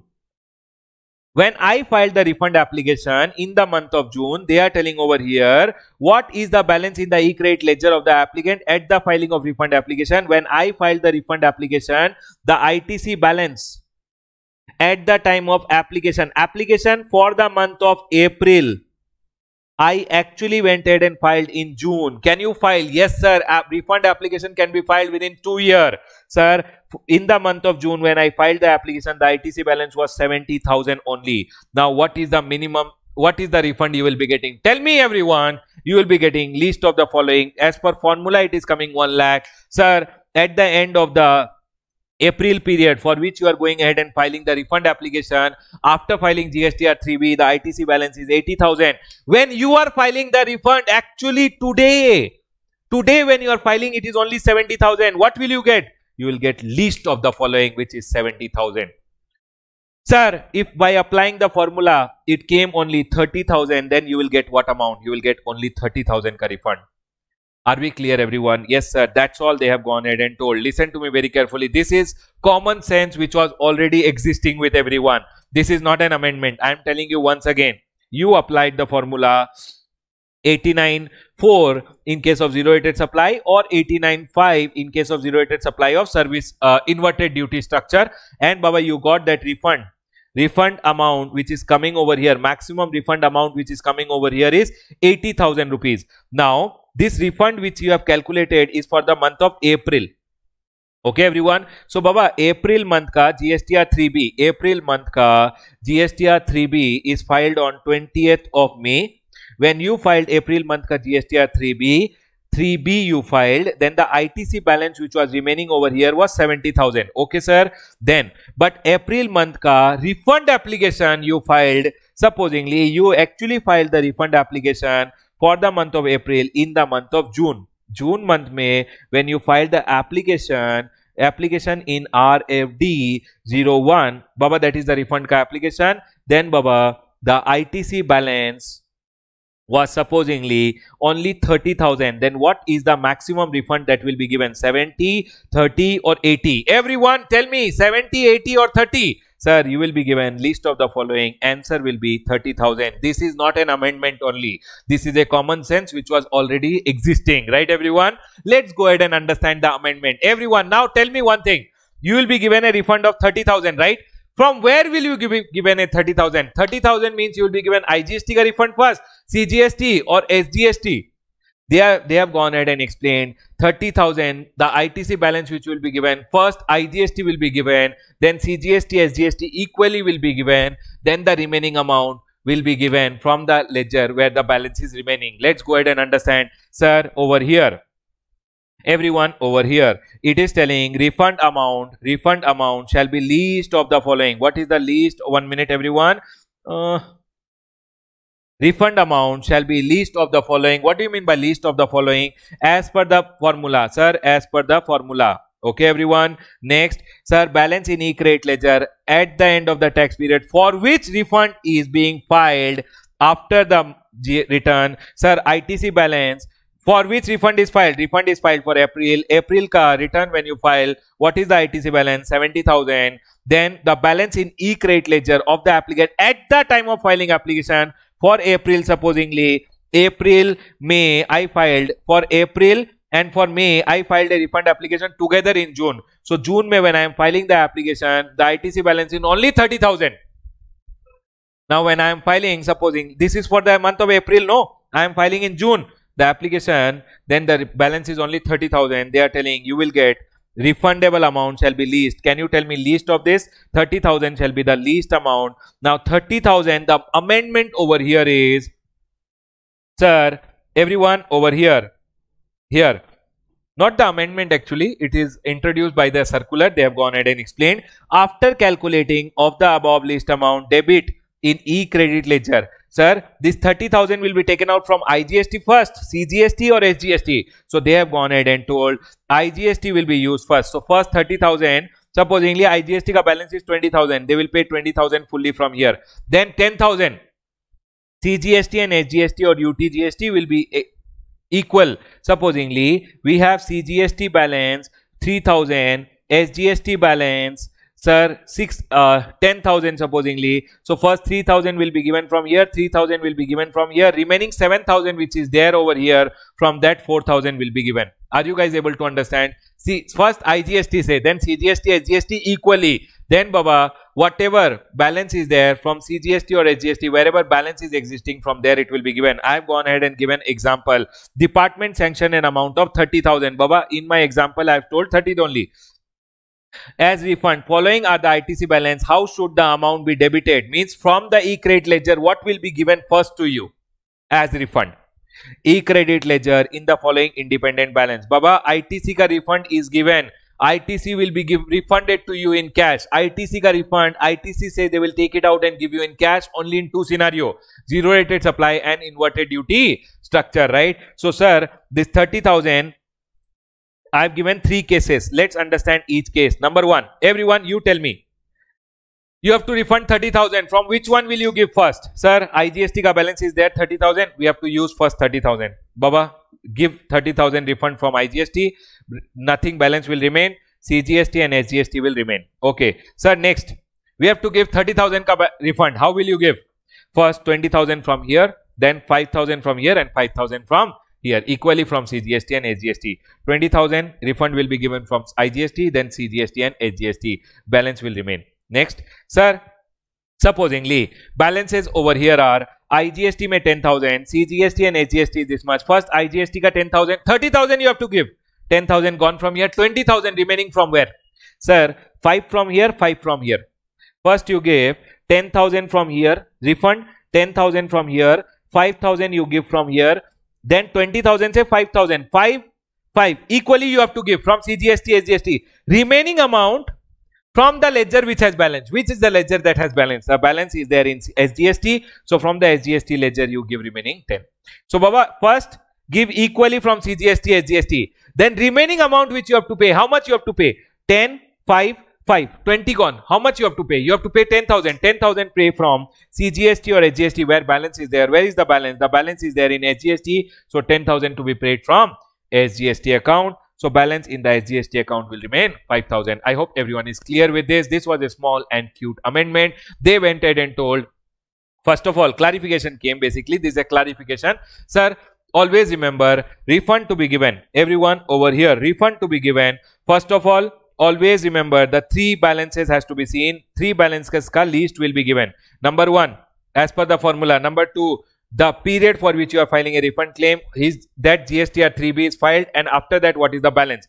After filing GSTR 3B what is the balance? And about the month in which you are filing the refund claim that month may what is the ITC ka balance? Right everyone? Least of the three will be taken. First you will have to pay from IGST that refund will be given from the IGST account, then Baba from CGST, SGST equally, then whatever remaining amount is there that will be given from CGST or SGST as the case may be wherever balance is existing. Are we clear everyone? Yes sir, we got it. Next.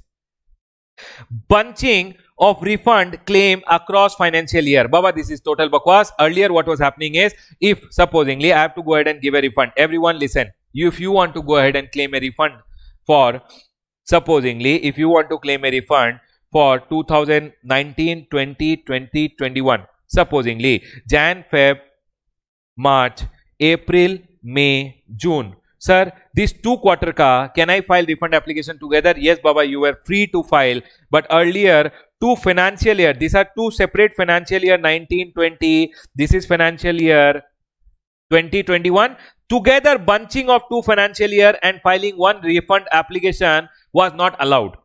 Bunching of two refund two years together and filing a refund application was not allowed. Now it has been permitted. Everyone over here. It is it is clarified that while filing a refund application, applicant may have an option to file a refund application for a tax period by clubbing successive tax period means you can club these three and these three that one quarter, one quarter, no problem. Earlier, there was a restriction on bunching of refund application across financial year. Means this this bunching was allowed. Two quarters ka you can file. But same year ka two quarter was allowed means you can go ahead and file a refund application for October, November, December. This one quarter and this one quarter club together. But clubbing these two quarter with the third quarter of the next year, that was not allowed. Now they are telling for one quarter of one year, second quarter of another year, two years ka, two years ka, two quarters ka refund application, you can go ahead and bunch together and file refund application. That is not a problem.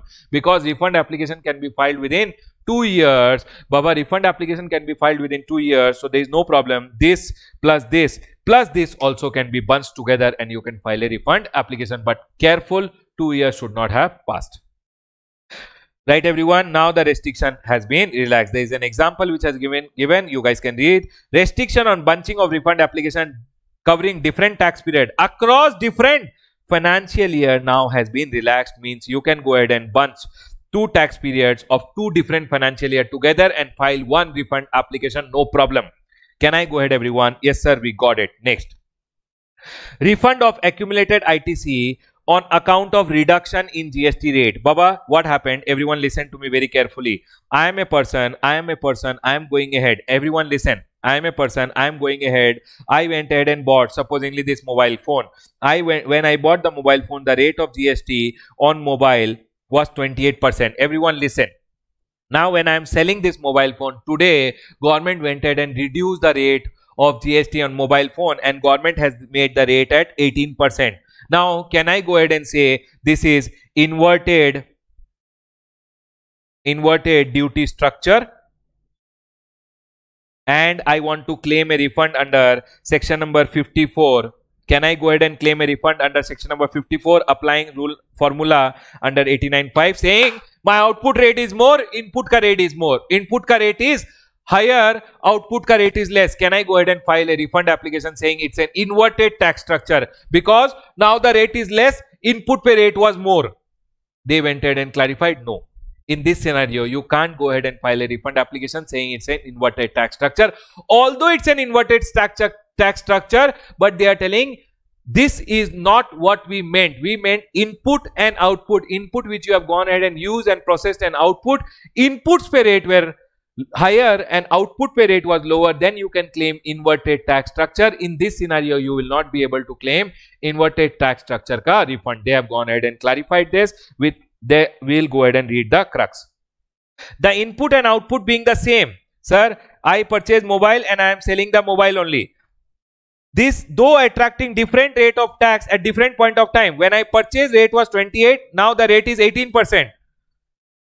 Does not get covered under section number 54.3.2. 54.3.2 clause 2 talks about inverted duty structure ka refund. By applying the formula under 89.5, you will not be eligible to claim a refund in this scenario. You can't say my output pay rate is low, input pay rate is more, you will not be given a refund. In, this is not inverted duty structure which the department has gone ahead and clarified. People asked this question, department went ahead and clarified. They are telling no refund of accumulated ITC in such a scenario. Because here you would have paid 28 rupees output tax Baba will come 18 to 20 rupees. 18 percent means if you add profit also it will come 20 rupees. This accumulated ITC ka refund you will not get. Our input pay rate will be more. Output pay rate is less. Right everyone? In this scenario input tax rate will accumulate you will not get a refund in this scenario. Are we clear everyone? Yes sir, we got it. So that is what is being clarified over here. I request all of you to read. Exam issue has been given, clarification has been given. I have gone ahead and explained you what is the meaning exactly. When I bought the mobile, the rate was 28%. When I sold the mobile, the rate reduced by the GST Council is 18%. Will I get a refund of the accumulated ITC? The accumulated ITC refund will not be given in this scenario. Right, everyone? That is being uh, clarified by the CBIC now. Next, sir, refund of ITC under section number 54.3 restricted to the extent of credit reflected in GSTR 2A. Baba, everyone listen to me very carefully. Now, sir, whenever you go ahead and claim a refund under section number 54.3, section number 54.3 gives you a refund of zero rated supply. Baba, section number 54.3 says, Ramesh, whenever you go ahead and supply, which is a zero rated supply, or Ramesh, in case of inverted duty structure, you get a refund of your input tax credit. Which input tax credit? The input tax credit for which the invoices are being uploaded by the supplier in that GSTR 1. Basically, only of the matched ITC you will get a refund. Matched ITC, you will get a refund. Are we clear everyone? Yes sir. This ITC, if GSTR 1 may, suppliers have not shown their in, your invoices of purchases, you will not get a ITC refund. Everyone listen to me very carefully. I am going ahead and exporting or I am going ahead and making a zero rate supply. I have purchased some goods from one supplier. This supplier has gone ahead and uploaded the invoice in his GSTR 1 and the ITC is reflecting in my GSTR 2A which is so supplier went ahead and showed only 80,000. Actually, he should have shown 1 lakh rupees ka credit, but he showed only 80,000. GSTR 2 may, A may reflecting is only 80,000. The amount of refund I can go ahead and claim is 80,000. I will not be given a refund of 1 lakh because this is the matched MATCHED matched ITC. Are we clear? Whatever is reflected in your GSTR 2A, that amount you can claim a refund. 20,000 which he has not gone ahead and shown the credit. 20,000 is not reflecting. I will not get the credit. Are we clear everyone? Simple. When you are going ahead and applying for a refund, refund will be granted only of the matched credit. Unmatched credit ITC will not be refunded. That's all they are telling. In the wake of section number 36.4. 36.4, Baba, in the chapter of ITC, I had gone ahead and explained you 36.4, basically wherein you can take only 10%, 10% ITC of the match credit, whichever is appearing in your GSTR 2A. I hope you guys remember. Yes, sir. It has been decided that refund of accumulated ITC, whatever accumulated ITC ka refund you are claiming shall be restricted to the ITC as per those invoices, the details of which are uploaded by the supplier in GSTR 1 and are reflecting in GSTR 2A. Basically, those ITC which are reflecting in your GSTR 2A, only that which is basically matched ITC ka refund you will get. If supplier has not uploaded the invoice and that is not appearing in your GSTR 2A, you will not get a refund of the accumulated ITC also. Are we clear everyone? ITC gets accumulated in two scenarios. Baba, accumulated ITC refund is given only in two scenario. One is zero rated supply. Number two is inverted duty structure. In these two scenario also, now they have gone ahead and made an amendment that in this two scenario also refund of the accumulated ITC will be given of the ITC for which the invoices has been uploaded by the supplier basically which is appearing in your GSTR 2A. It is not given on the basis of invoice anymore. Are we clear everyone? Yes sir, we got it. Next. Clarification in respect of few challenges faced by the registered person in implementation of GST provision. Everyone, let's go ahead and understand this. Baba, this can also be read along with the chapter of tax invoices. However, I have gone ahead and put in the refund chapter. Everyone over here let's understand one by one all the issues which are there here it is just talking it's just clarificatory in nature so it's just a clarification which has been issued by the uh, CBIC over here saying that there are some this is just a circular basically people had some doubts and CBIC has gone ahead and issued a circular right everyone here an advance is received from a supplier for a service contract. Okay. I love drawing. We'll go ahead and draw. Everyone over here. One person is there. He has gone ahead and received an advance. When you receive an advance, what do you issue? Baba, advance ke liye you go ahead and issued a receipt voucher. Okay. Receipt voucher. They are telling over here, which subsequently got cancelled. Oh, advance ke liye receipt voucher issued and it subsequently got cancelled. The supplier has issued that invoice before supply of service. Baba he also went ahead and issued the invoice. It means he would not have on receipt of advance baba he went ahead and issued a tax invoice. Tax invoice he issued before going ahead before going ahead and uh, issuing before going ahead and providing the service i went ahead and issued a invoice. Okay and paid the gst baba gst was paid to the government. You paid the gst to the government. Co you paid the gst now what will happen? Okay? So baba supposingly you received in this month. This month ka return when you are filing you will go ahead and show in your return that sir i have received an advance and you will go ahead and pay the gst to the government. Okay? And baba because you have already shown the tax invoice you will go ahead and show the tax invoice in your return and you will go ahead and pay the tax to the government. Okay?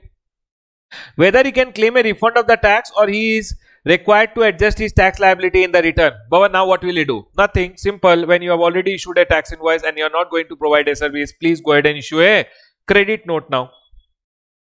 Credit note. Yes or no? Baba, this credit note, show it in the return in the month when you are going ahead and issuing the credit note. Show it in the return and your GST liability in that month will come down. So, Baba, listen to me very carefully. You received an advance. For the advance, you went ahead and issued a actually receipt voucher or basically what happened over here they went ahead and issued a tax invoice. He went ahead and issued a tax invoice over here. On the receipt of the advance he went ahead and issued a tax invoice. Later on the recipient who was there he told i don't want your service. I have heard that you are a very good bad service provider. I don't want your service. So service ka contract got cancelled. So what will happen? You will go ahead and issue him a credit note. When you issue him a credit note baba what will you do? You will have to go ahead and show it in your return and that month here you had already paid your gst you had paid your gst to the government. Now you will claim a refund. You will not get a refund over here. You will have to go ahead and show the credit note in your return and your gst liability will come down. This should be the solution. They have gone ahead and clarified. They told issue a credit note as per section number 34 declare in the month of issue and tax liability shall be adjusted. Basically when you issue a credit note what will you do? The solution given over here is issue a credit note. Sir we already knew. Baba clarification. That's all you have to issue a credit note, show it in the return. Your GST liability will be adjusted means earlier you had paid the GST to the government. Now in this month you have to pay less liability. Basically, uh, supposingly I have 1000 rupees payable to the government this month. 100 rupees supposingly I had paid on this advance. 100 rupees GST I had paid on this advance government will go ahead and say in this month when you are paying your gst liability output tax liability supposingly 1000 rupees do one thing ramesh adjust this 100 rupees and pay only 900 to me. So baba you will go ahead and adjust the liability and pay only remaining amount to the government. Are we clear everyone? So 100 rupees will be adjusted by a credit note. Okay sir? Then Sir, supposingly, now the next question which was asked is, Sir, supposingly there is no output tax liability only, so adjustment can't be done. In this scenario 100 rupees which you have paid to the government because you don't have anything payable to the government how will you adjust? So in this scenario this 100 rupees ka you can go ahead and claim a refund file filing rfd 0 one you can claim a refund. That's all has been clarified. However if no output tax liability registered person may file refund application in GST RFD 01. That's all is the clarification which has been come. You already knew it. They have gone ahead and written it down by mode of a clarification. These are some people who asked for doubts. Uh, CBIC has gone ahead and clarified. You already knew it. Then no problem. If you didn't know it, you know it now, right? We already discussed it when we are doing it in the class, right? Yes, sir. Issue number two, an advance is received by a supplier. Okay, I'll draw again. Say there is a supplier who is there. He has received an advance. Okay Next, which got cancelled subsequently. Baba, the supplier has issued receipt voucher. Baba, you went ahead and issued receipt voucher only. You went ahead and issued receipt voucher. It means when you issued the receipt voucher, you would have shown it in your return. And in the return, you would have gone ahead and paid the tax GST to the government. GST paid to the government, supposedly 100 rupees. Okay, everyone. Here, what happened? You received an advance and you did not issue a receipt voucher. Baba, if you receive a receipt voucher also, you will show the receipt voucher and then the tax liability will be adjusted by tax invoice. Here you did not issue a receipt voucher, you directly issued a tax invoice. What is the problem? There is no problem at all. Next, you received an advance you received an advance and here you issued a receipt voucher you did not issue a tax invoice over here you issued a receipt voucher and you paid the gst to the government on issue of receipt voucher you paid the gst to the government okay and gst paid on such advance and paid the gst on such advance. Basically you paid the gst to the government. Whether he can claim refund of tax paid on advance or he he is required to adjust his tax liability in the re return. Basically they are telling now this refund which is there this gst 100 rupees which you have paid since you have already gone ahead you will go ahead and refund.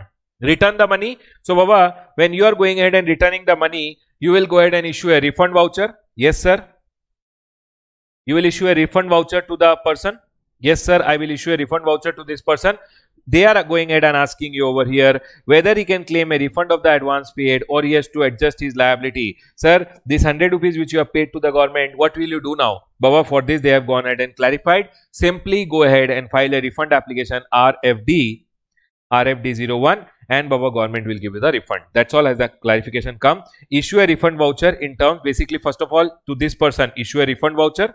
Okay. Then registered person may file refund application GST RFD01 for the refund of the GST paid on such advances from the government. You want to claim this refund back you will have to file a RFD 01 that's it everyone. Right everyone? Over here. Listen to me very carefully. If you have listen to me very carefully. What is the difference between the first one and second one? In the first one you had issued the tax invoice. Baba tax invoice you had issued and you had paid the gst to the government. Now when you are going ahead and refunding the amount to this person you will issue him a credit note credit note you should declare in the return and government and adjustment should be done through the return now, if adjustment can't be done through the return, you don't have any liability. In that scenario, you can claim a refund. But in the second scenario, you had gone ahead and received an advance and Baba on the receipt of advance, you have gone ahead and issued a receipt voucher. You did not issue a tax invoice over here. Now, when the refund is done, you issued a refund voucher. Now, when you issued a refund voucher to your customer, government ko whatever tax you have paid, you will not be able to adjust it through your return. Sir, issue a refund voucher to your customer. Number two, go online and file a refund application and take your refund. Here, there is no adjustment through return that has been clarified by the government. Okay, sir. Next. Just clarifications. Okay. Next. Goods supplied by a supplier under the cover of tax invoice are returned by the recipient. Sir, I went ahead and supplied some goods. I went ahead and supplied some goods to one person I issued a tax invoice. Okay, sir. Then, then he went ahead and returned. Is it? Yes, sir. And tax invoice, what is it telling? Goods supplied by a supplier under the cover of a tax invoice are returned by the recipient. Sir, recipient went ahead and returned it. Recipient went ahead and returned it. Now, what will you do? When goods return has come, Baba goods return ka case may please issue this supplier ko one credit note. Okay, everyone. Once you issue tax invoice no. Against the tax invoice if you have to go ahead and pay the money back you have to issue a credit note. Simple as that everyone. Sir if you have gone ahead and issued a tax invoice and goods have come back or service has not been taken by that person in that scenario always issue a credit note show the credit note in the return of the month in which the credit note is issued and the tax liability will be adjusted. Are we clear? Now sir supposingly when you are filing the return that month output tax liability is nil nil then how will you go ahead and take your how will you do the adjustment in that scenario government is telling whatever is your refund you are asking for for that you file a refund application are we clear everyone listen to me very carefully i issued a tax invoice i paid the gst to the government I paid the GST to the government, supposedly 100 rupees. Later on, he returned the goods. So, I issued him a credit note. When you issue him a credit note, simple as that, show the credit note in the return and your tax liability will be adjusted. Sir, if adjustment can't be done, then in that scenario, file a refund application. We can see over here, issue a credit note as per section number 34. Sir, what will I do? You will have to issue a credit note number one. Then, secondly, declare it in the month of the issue and tax liability shall be adjusted. Sir, you have to declare it in the return in the month and the tax liability shall be adjusted. Okay. Then, no need to file a separate refund application. Here, you don't have to go ahead and file a separate refund application. In this scenario, output tax liability supposingly I'll tell you output tax liability in this month was 1000 rupees. You will go ahead and adjust 100 rupees and you will pay only 900 rupees in that month of when you are issuing the credit note. Are we clear? Sir supposingly output tax liability is not there only. Then what to do about this 100 rupees? How to take it back from the government? I don't have anything to adjust. In that scenario they are telling for this you can file one refund application RFD01. I hope everyone is clear. Yes, sir, we got it. Can we go ahead? See over here. However, if no output tax liability, registered person may file refund application GST RFD 01. Are we clear everyone? Listen to me very carefully. Always remember if tax invoice is issued, if tax invoice is issued, always you have to issue credit note, credit note to be declared in the return of the month when you are issuing and your tax liability will be adjusted. But if supposedly tax invoice is not issued, credit note will not be issued. In that scenario, when you receive the advance, you would have given the tax to the government. For that tax, you have to go ahead and claim a refund through RFD 01. Refund application has to be filed. That's all is the clarification. I believe they can ask you a two mark small MCQ out of this. Please read all the examples properly once more time and go. Right everyone? Yes sir. Next we are done with your we are done with your amendments relating to refund over here. Now the next chapter is miscellaneous topic. Total bakwas miscellaneous topic may one small amendment has come. Everyone let's go ahead and quickly understand. Actually this amendment which is there no section number 148 special procedure for certain processes. Special procedure for certain processes. Everyone listen to me very carefully. Now special procedure for corporate debtors undergoing CIR CIRP under CIRP means corporate insolvency resolution process under the insolvency and bankruptcy code. Everyone listen to me very carefully. I have gone ahead and written over here. What do you mean by the CIR CIRP process? CIRP process. Actually, for this, lot of amendments have been brought, but uh, for your ICAI has gone ahead and taken a very small paragraph out of it, which I will go ahead and explain. We will not go in detail about it. Only I'll take some five minutes and I'll go ahead and explain you what is written over here in your law subject. Anyways, you know about the CIR RP, CIRP process, right everyone? You guys already know about it. So I'll not go in detail in it. How much is required for your exam? I'll go ahead and tell you. Okay, everyone listen to me very carefully. Now, there is one person, there is one person and he is a corporate debtor. He is known as a corporate debtor. He is a person who is GST registered. Everyone listen to me care carefully. He is registered under GST. Okay. Now, what he has done, he has not paid his dues for a long time. He has not paid his dues uh, to his debtors Baba, debtors for a person can be of two type. One can be financial debtors, financial debtors, and one can be operating debtors. Everyone, there are two types of debtors. There are two types of creditors. Sorry, there are two types of creditors when, who can be there. One can be financial creditor, and one can be operating creditors. There are two types of creditors which a person can have. One can be financial creditors like banks who have given you loan, etc. One can be operator, operator, operating creditor financial and operating okay? Operating creditor. Basically who help you in your operations. Like people who have supplied you goods people who have gone ahead and supplied you machineries etc on uh, without on credit basically. So baba there are two types of creditor a person can have financial creditor and operating creditor. Okay everyone listen to me very carefully. This is a person who has not gone ahead and paid his dues. This is a person who has not gone ahead and paid his dues for a long time. Now what will happen? Baba these creditors who are there, no, they will go to the NCLT. These creators will go ahead and approach the NCLT. Basically, any creator can go ahead and approach to the NCLT and file one petition over there that sir we want this company to be winded up this person who is there this company who is there basically this company who is there we want the company to be winded up this company who is there this company is not going ahead and paying our debts who basically financial debtors, financial creators and operating creators went ahead and told the NCLT, they filed a petition saying that this person is not going ahead and paying our dues, sir.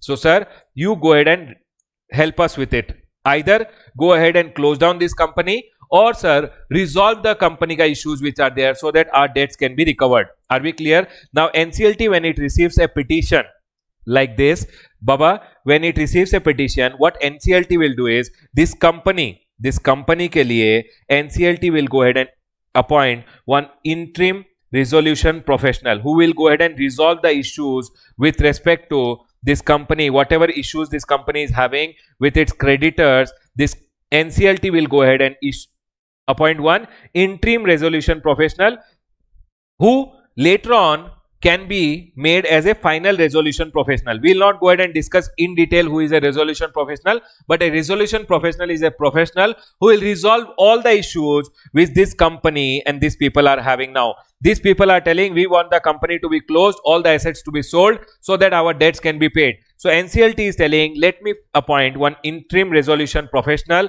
or a resolution professional. Basically, this interim resolution professional will be later on becoming the resolution professional. Okay, interim resolution professional is appointed by the NCLT and this resolution professional what they do know basically they will go ahead and try to speak to all these debtors and creditors uh, sorry these creditors he will try to speak to all the creditors of the company listen to me very carefully. Once this resolution okay i'll write only resolution professional okay everyone? Yes. Once this resolution professional is appointed no what he will do is he will go ahead and talk to all of these people.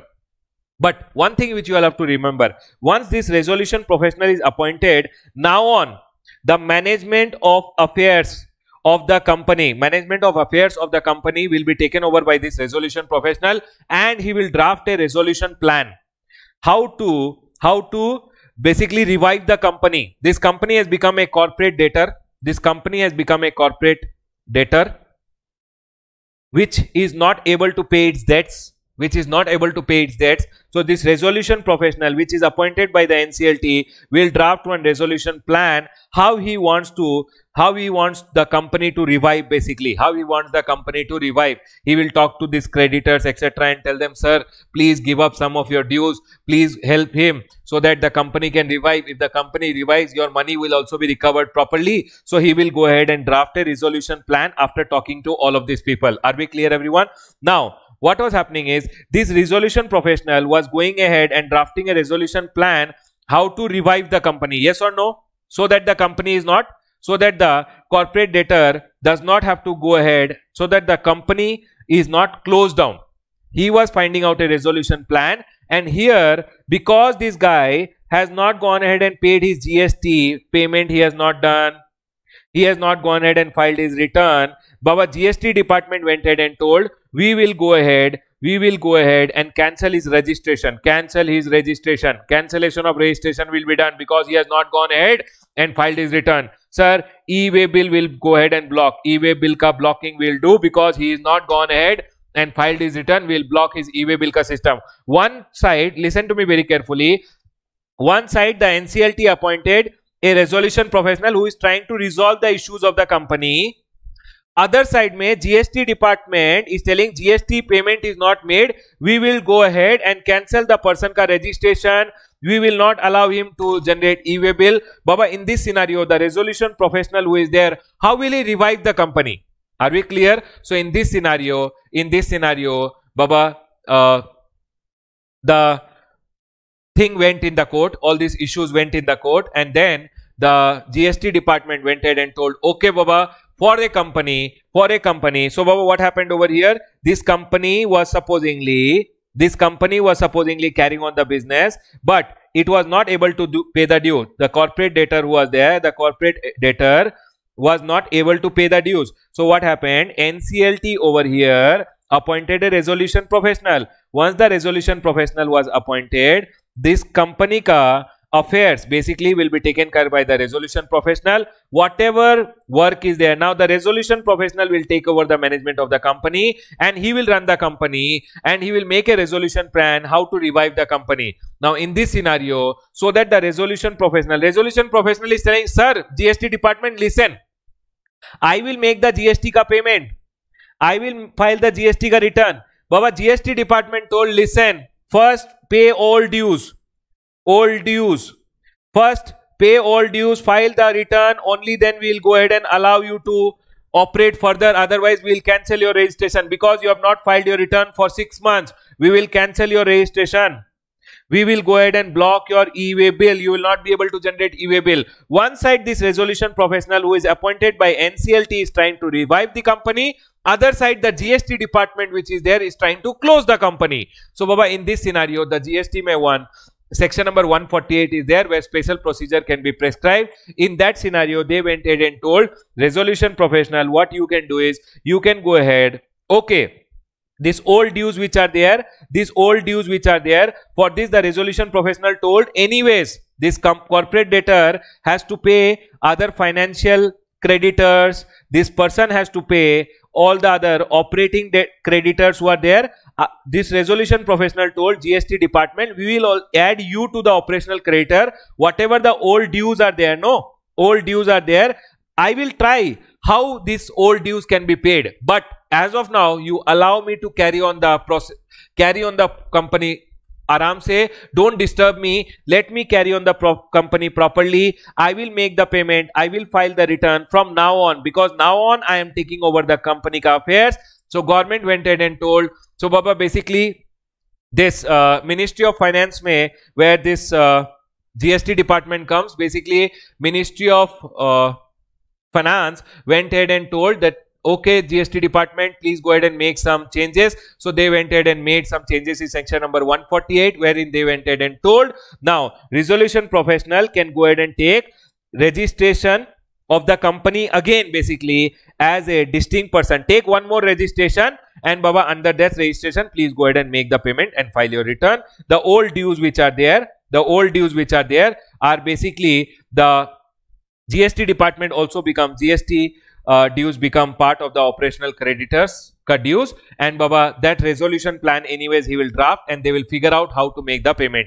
But now on because the affairs are being taken over by this resolution professional now on the payment has to be made and return has to be filed. For that gst department told okay you can go ahead and take one more registration as a distinct person. Because the company already has a registration do one thing. Take one more registration as a distinct person and carry on the affairs of the company. File your return make the payment of the taxes. That's all has been that's all is the uh, section number 148 ka power has been used.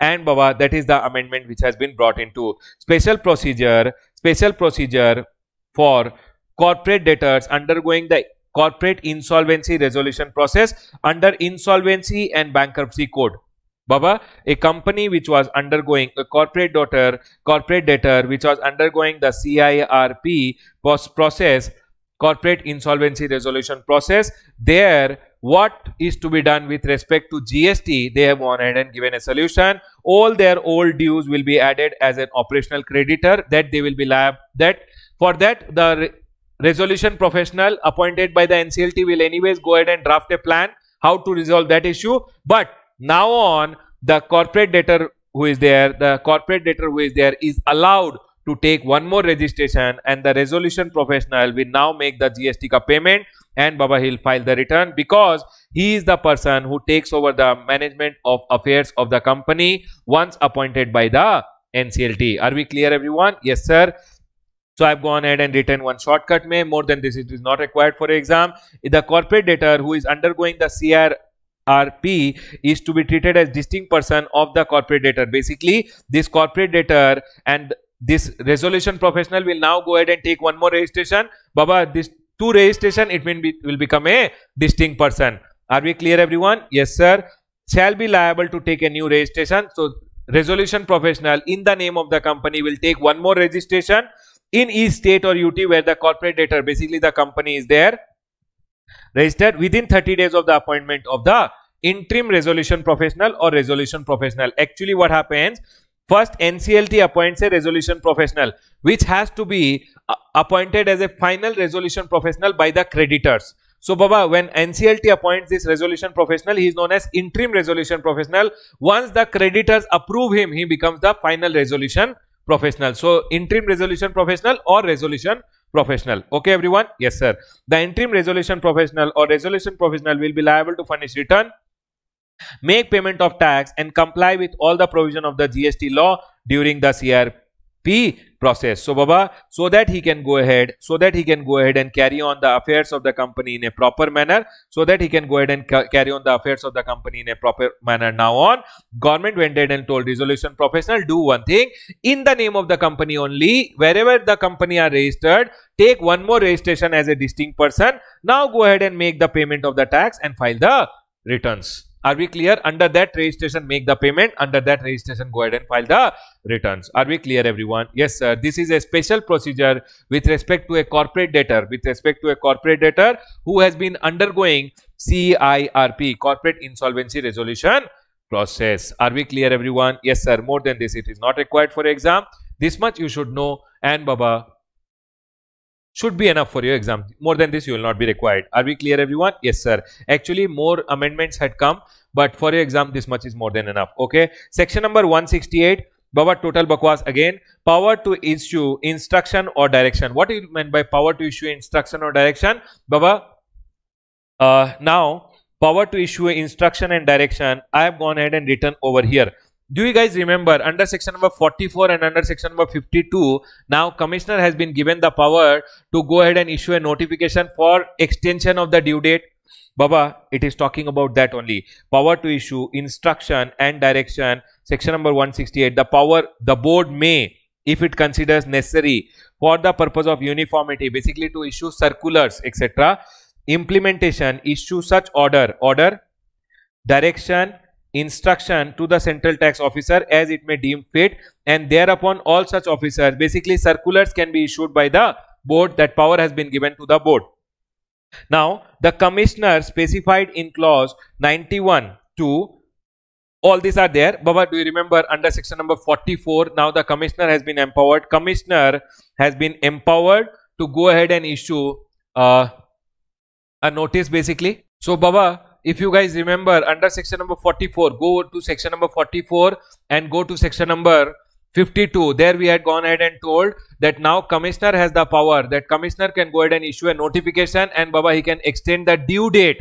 He can go ahead and extend the due date for baba annual return. Do you guys remember annual return and gstr 8 or baba gstr 9b i hope you guys remember. No sir we don't remember. Then no problem. Come over here. I will show you quickly if you guys remember here we had gone ahead and learned that Baba now Commissioner has been empowered to go ahead and extend the time limit for furnishing 9 and 9A and Baba Commissioner has been empowered to go ahead and extend the time limit for furnishing GSTR 8 and 9B. Yes Baba. Now they are telling who is the Commissioner who has been empowered. They have gone ahead and told over here that consequent to basically amendment in 44 and 52 which seeks to empower the Commissioner to extend the due date for furnishing of annual return and monthly return GSTR 8 by e-commerce operator liable to collect TCS. Consequently, 168 is amended so as to specify that in section number 168 basically they have gone ahead and specified who is this commissioner who is empowered they are telling amended to specify that with respect to section number 44 basically commissioner is empowered right or section number 52 4 and 5 commissioner or joint joint secretary posted in cbic shall exercise the power specified in the said sections with respect with the approval of CBIC. Everyone listen to me very carefully. Now section number 44 and section number 52 may we went ahead and learned that commissioner is empowered to go ahead and extend the commissioner is empowered to extend the time limit for furnishing of return in section number 168 they have gone ahead and made an amendment and where they have gone ahead and told commissioner or joint secretary posted in the CBIC shall exercise the power. Basically, who is the commissioner who will go ahead and extend the time limit? They are going ahead and telling the commissioner or the joint secretary posted in the CBIC. Not any joint commissioner or any any commissioner or any secretary will go ahead and extend the time limit. No. Commissioner or the joint secretary who is posted in the CBIC shall exercise the power specified in the said sections with the approval of the CBIC, they will go ahead and exercise the power. Basically, they will go ahead and extend the time limit with the approval of the CBIC. Are we clear? One total Bakwas section, nothing relevant from exam point of view. So, this is just for your knowledge, just for your knowledge. Are we clear everyone? Yes, sir. Section number 168, power to extend, power to extend time limit in special circumstances. Now, government in special circumstance has the power to extend the time limit with respect to various returns etc baba this covid came in this covid the central government has issued taxation and other law ordinance 2020 on 30th 31st of march which empowered baba central government went ahead and passed one taxes and other law ka ordinance 2020 on 31st march to extend the due dates for compliance with various tax law because march may what happened march may baba this uh, what is it called? Baba lockdown had started in March, so government had gone ahead and passed one taxation and other law ordinance 2020 on 31st of March which empowered it which empowered the central government basically to go ahead and extend the due dates for compliance from various tax law. Because basically because of this lockdown etc people were not able to comply with lot of things lot of due dates which were there. The ordinance had gone ahead and inserted this section number 168 wherein simple thing i'll go ahead and tell you. Section number 168 provides power to the government to extend the time limit specified in or prescribed under under this act in respect of any action which cannot be completed or complied with due to force majeure. What do you mean by force majeure? Let's go ahead and understand. Force majeure means in, in a case of war epidemic, flood, drought, fire, cyclone, earthquake or any other calamity caused by nature or otherwise affecting the implementation of any provision of the law, now central government can go ahead and uh, extend the time limits for various uh, compliances basically. So it says notwithstanding anything contained in the act, Baba Act might tell you this date, that date, this date, that date. Forget everything what is told in the act the government may on the recommendation of the council council will go ahead and recommend the government. By notification extend the time limit specified in or prescribed in or notified under this act in respect of an action in respect of an action which cannot be completed or complied due to force majeure. It says the power to issue notification shall include power to give retrospective effect to such notification from a date not prior to the date of commencement of the act. Baba the government can go ahead and say that because of this pandemic or baba because of this flood etc might be some due dates are not being complied with. Government has now inserted the power wherein government can go ahead and extend the time limit for compliances. It says section number 168 provides the power to the government. Section number 68 provides the power to the government overruling what is told in the act, notwithstanding anything the act. Whatever is told in the act, forget it. Government now has the power that in to extend the time limit specified in or prescribed under this act, whatever time limit is prescribed in this act, government can go ahead in respect of an action which cannot be completed or complied with due to force majeure. Now, government has the power to extend the time limit with respect to various things which cannot be done because of this drought, pandemic, etc. Government now has the power that government can go ahead and extend the time limit. That's it. Baba, the power has been given by section number 168. Are we clear everyone?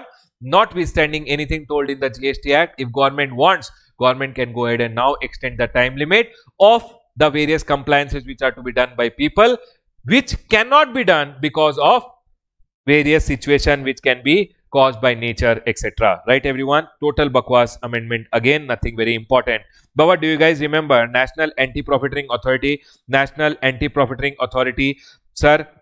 Or I used to say it NAPA, National Anti-Profiteering Authority, or Baba, you can also call it National Anti-Profiteering Authority, NAA, right? So Baba, it says anti-profiteering measures. I have already gone ahead and explained you in our previous uh, whichever batch you have taken i've already explained you national anti-profiteering authority basically national anti-profiteering authority if you don't go ahead and pass on the burden baba everyone listen itc ka itc because of the coming of gst credit Baba, you started getting more credit. When you started getting more credit, your cost of the commodity should come down, but you did not reduce the cost of your commodity. Or GST rate came down, GST rate came down, but prices of your goods are same. Your prices of goods are not coming down. In that scenario, you are doing profiteering and anti-profiteering measures can be taken against you, right? Now, anti-profiteering authority has the power to go ahead and charge a penalty also on you. Penalty provision introduced where National Anti-Profiteering Authority has concluded, they have found out that you, a registered person, has profited. You have gone ahead and done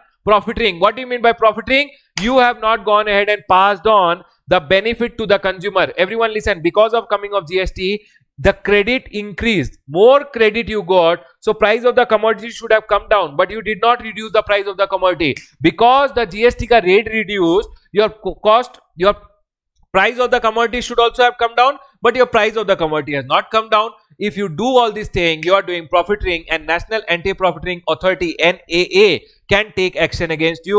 And Baba, now National Anti-Profiteering Authority, where National Anti-Profiteering Authority has concluded that you, a registered person, has done profiteering, then such person shall be liable to penalty equal to 10% of the amount profited. Whatever is the amount you have profited, you made extra profit, you became rich at the cost of someone else. How much is the extra profit you made? 1 lakh. Baba, they can go ahead and levy a penalty of 10%, 10,000 on you. No penalty shall be leviable if the profited amount is deposited within 30 days of the date of passing of the order. So our National Anti-Profiting Authority passed an order against you. In the order, they will go ahead and say 10% of the amount is payable as penalty. But if you go ahead and deposit, supposingly I made an extra profit of 1 lakh rupees by doing profiteering. Baba 1 lakh rupees I have to pay if I deposit within 30 days. If I don't deposit within 30 days, then along with 1 lakh 10% I have to pay penalty also which is 1 lakh 10,000. Are we clear everyone? Yes sir, nothing more than that. Now everyone i hope people will be able to read this. Yes sir we'll read it. I have gone ahead and told the crux. The crux just says over here that where national anti-profiting authority has concluded that a registered person has profited you have done profiteering then such person shall be liable to pay a penalty of 10% of the amount profited. Whatever profiteering you have done whatever extra profit you have done from of that 10% will be payable as penalty. Okay everyone? But if you deposit the amount within 30 days basically to the consumer welfare fund it says no penalty shall be leviable if the uh, amount profited is deposited within 30 days of the date of passing of the order by the national anti-profiteering authority. Then you don't have to pay any penalty. This is the amendment. Right everyone? Next. Section number 53a and 17a is just for internal transfers which the department will be doing. Everyone listen to me very carefully. Cgst say CGST say one person went ahead and transferred some amount to SGST. CGST say one person e-cash ledger. Do you guys remember e-cash ledger? CGST say one person went ahead and transferred to e-cash ledger SGST. So sir, listen to me very carefully. One, what happened? Actually, this person deposited in CGST account only, right? Yes or no? And hence it was reflecting in his e-cash ledger CGST. Baba, everyone, listen to me very carefully. I will tell you what is the amendment. What is the, not the amendment, new section. Total bakwas, not very relevant for exam point of view, but still, let's understand once. See, supposingly, one person went ahead and deposited CGST in CG, central government account, central government ka account mein he deposited. So, central government gave in the e-cash ledger, central government gave him supposedly 10,000 rupees. Now, this guy went ahead and filed one GST PMT 09 and transferred the amount of 10,000 rupees to his e-cash ledger which is under SGST. Now you tell me one thing, when he transferred from here to here 10,000 rupees by filing PMT 09, don't you think this 10,000 rupees now should go to the state government account? Yes or no? Yes sir. Baba, but this guy, but me, I have deposited the amount to the central government account. Now Baba, how will the central government account do it do the transfer? Basically the portal will go ahead and do backend set transfer where you went ahead and transferred from year to year no by filing gst pmt 09 i taught you how to transfer using gst pmt 09 because you use gst pmt 09 and transferred from year to year government section number 53a and 17a is telling this only. Government central government will go ahead and transfer from their account to the state government account 10000 this is between the government and government cut transfer which will happen because you are using PMT09 and transferring. Are we clear everyone? Yes sir. Baba everyone listen to me very carefully. You will use GST PMT09 and transfer from your eCash ledger. You deposited in your eCash ledger CGST. Okay? When you deposited CGST, who got the money? Central government got the money. Now you file GST PMT09 and you transfer to the eCash ledger which is SGST. Now tell me one thing. Don't you think the money should now go to the SGST account? Yes, sir. So, Baba, central government will also transfer from their account to the SGST account this 10,000 rupees. Are we clear, everyone? Yes, sir. This is just talking about the internal transfer from the central government to the state government. Are we clear? Yes, sir. Let's go ahead and read now. See, consequent to amendment in 49, allowing transfer from one head to another head in e-cash from one e-cash which is CGST to another e-cash might be SGST. Okay. Where amount transferred from e-cash under CGST or IGST. Baba CGST or section number 753 talks about 53A talks about CGST, 17A talks about IGST. Okay, everyone, we are talking about two sections. Can you guys see 53A and 17A of IGST? Where amount is transferred from CGST or IGST to, to. E-cash ledger under SGST. Baba, amount is transferred by you. You went ahead and used PMT09 and transferred from here to here, which is SGST or UTGST account. Okay, then they are telling the government shall. Who government? Baba basically the central government over here. One minute. The central government the central government over here will transfer an amount equal amount which you have transferred over here. The central government will now transfer it to the state government. That's all is told. The government which government? Central government shall transfer to the state tax account. Basically the state government ka tax account mein. Central government ka tax amount se the amount will be transferred to the state government ka tax account or union territory ka tax account an amount equal to the amount transferred from the electronic cash ledger. Whatever amount you have transferred by using pmt09 same amount. You transfer 10000 right? Same amount will be transferred from the central government ka tax account to the state government ka tax account. Sir how much? 10000 rupees.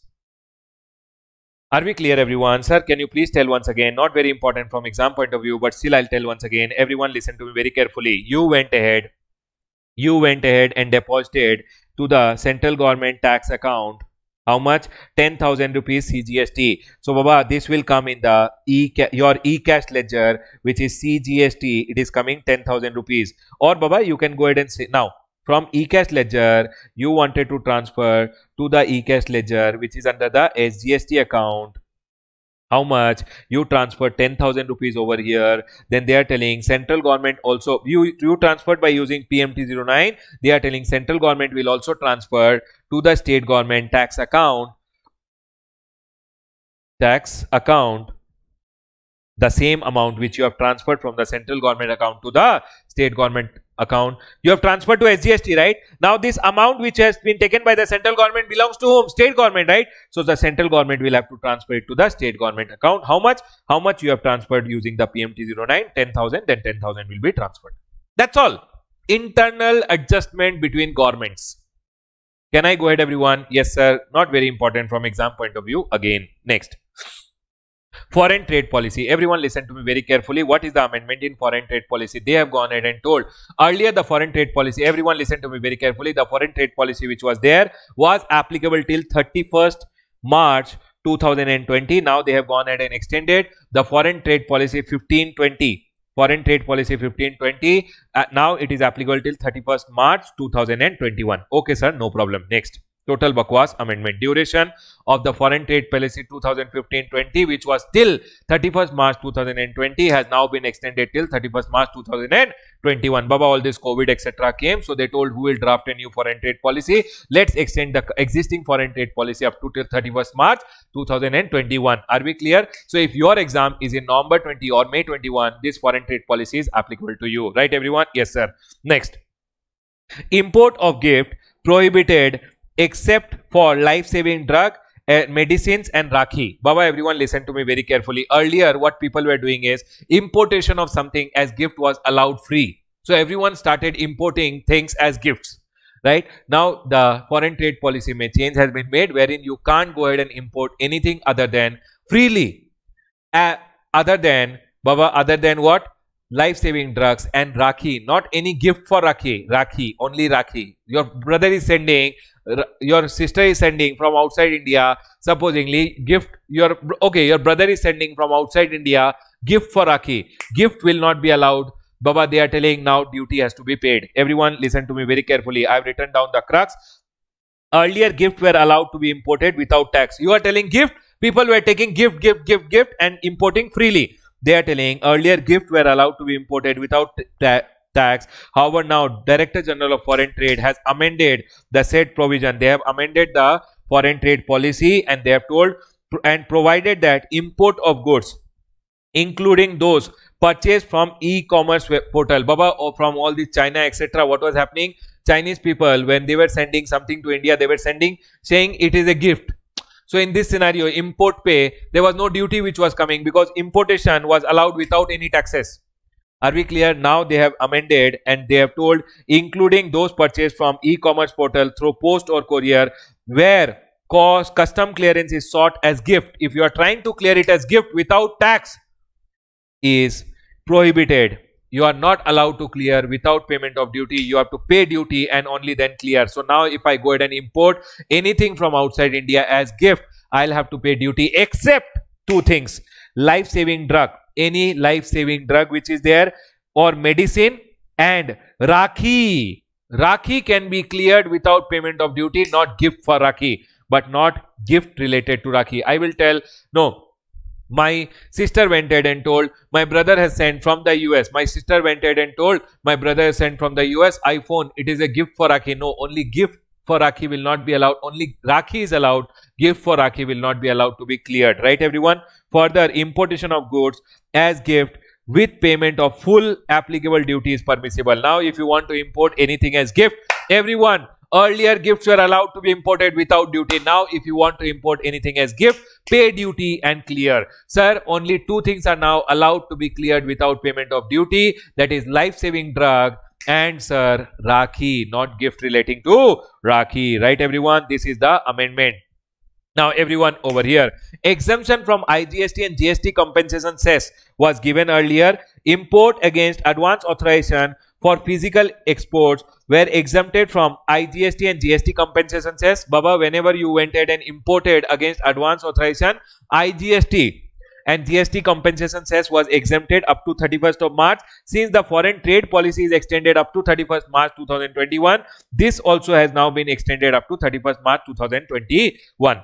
Earlier, the exemptions were till 31st March 2020. Whatever these exemptions were there under uh, FTP, these exemptions also have been now extended till 31st March 2021. Are we clear? Capital goods under EPCG were earlier exempted from IGST and GST compensation cess up to 31st March. Now this extension has been done till 31st March 2021. Sir, earlier goods imported by EOUs, ESTPs, Uh, biotechnology park, all these were exempted from DTA, were exempted from IGST and GST compensation cess up to 31st March. Now, because the foreign trade policy is extended up to 31st March 2021, this all exemptions also have been extended till 31st March 2021. Right, everyone? Here we are done with your foreign trade policy exemption foreign trade policy ka amendments also right everyone yes sir now these are two amendments which are not being considered by the ICAI but I have gone ahead and included in your book because I thought it uh, this is just a small amendment which has come into picture. So I thought I'll go ahead and uh, tell it to you guys. Right everyone? These amendments are not being considered by ICAI so if you are a CS professional or a CMA student you can go ahead and read. CS students baba read no what is the problem? Two amendments only. ICAI has not considered it. Uh, might be they will not go ahead and ask you question. What if? Knowing is good no? Let's know it right Rule number 80, annual return. Baba, do you guys know? Annual return is to be filed. Basically, a person has to go ahead and get his accounts audited. GST audit has to be done by a person when his turnover crosses 2 crore. For the financial year 18-19, the GST audit ka limit has been increased to 5 crore. Baba, everyone listen to me very carefully. Generally, GST audit has to be done by a CA or a CMA. I have to get it done from a CA or CMA when my turnover crosses 2 crore. For the financial year, only for the financial year 18-19, registered person whose turnover exceeds 5 crore has to get GST audit done. Only for the year. This amendment is only for the year 2018 and 19. Generally, a registered person is required to get GST audit. This paragraph has been inserted. You guys can read. Generally, a person is required to get GST audit under GST if turnover exceeds 2 crore. However, for the financial year 2018-19, registered person would be required to get GST audit done only if aggregate turnover exceeds 5 crore. Are we clear everyone? This is an amendment only for the financial year 2018-19, right everyone? Not very important from exam point of view, but definitely knowing is good. Next, now there is one more amendment which has been brought with respect to foreign airlines. Baba, they are going ahead and telling foreign airlines ke liye they have gone ahead and told Baba foreign foreign airlines you are not required to furnish your annual uh, basically foreign airlines are not required to submit their GSTR 9C. Everyone listen to me very carefully. The central government on recommendation of the GST Council hereby notifies that foreign companies which are airline company not all foreign company foreign airline companies as the class of person for whom special procedure has been prescribed they are not required to furnish the gst reconciliation statement gstr 9c is there no they are not required to furnish gstr 9C in India. Baba, foreign airlines are not required to furnish GSTR 9C, which is the reconciliation statement. So, if you are a foreign airline company who is operating in India, you will not be required to furnish GSTR 9C. Sir, then what should be furnished? You are, you are just required to furnish a statement. Instead, a statement of receipts and payment for the financial year with respect to Indian business. Baba, Indian business related, whatever is your receipt, whatever is your expenditure, that details you will have to provide duly authenticated by a practicing CA or a firm or a LLP of practicing CS to be submitted GSTN wise. If you have 5 GSTN, 5 GSTN ka 5 receipts and payment which is authenticated by a CA, basically uh, signed by a CA by 30th September of the year succeeding the financial year. For this year, by next year, 30th September, you just have to submit a you don't have to submit GSTR 9C you just have to submit one statement of receipts and payment which is duly certified by a chartered accountant in practice in India. Right everyone? And it has to be submitted GSTN wise. Are we clear everyone? Not again an important amendment from exam point of view, but still knowing is of no harm, right everyone? Here we are done. Congratulations everyone. Here we are done with the all the amendments relating to November 20 exam. For our November 20 exam, all the amendments hereby I have gone ahead and completed. I tried my best to go ahead and include every small amendment, even those amendments which are not considered by the ICAI in the statute update. I have gone ahead and tried to include it. I will request all of you to see the amendment one time, two times, settle it in your brain properly because amendments in your exam will ca carry at least 15 to 20 marks in the exam. Very, very important from your exam point of view. So, Baba, although might be small, small amendment, but MCQs can be asked. So, I've tried my best to go ahead and give you examples also. Now, everyone listen to me very carefully. Everyone over here, you have to subscribe to the channel. Baba, hit the bell icon and keep because whenever I'll go ahead and upload there's no commercial benefit which i'm getting out of it. I'm telling it for your benefit. If you don't want to do it don't do it. But if you want you can go ahead and subscribe the channel and keep. What will happen is whenever i get time i'll try to upload some revisionary videos which will be definitely very helpful to you guys. Right everyone? All the best everyone. Keep practicing question answers. One thing which i will tell is practice lot and lot of question answers because it will be very helpful for you guys. And yes subscribe the channel and keep. It will help you a lot in getting notification whenever i upload any revisionary videos. Now when i get time i'll try to upload small small revisionary videos. Not all i'll promise but whenever i get time for some chapters i'll go ahead and upload revisionary videos. Right everyone? All the best to all of you. Please keep practicing. And anything is there please let me know. Right everyone? In the comment section. Take care everyone. Bye all the best for your exam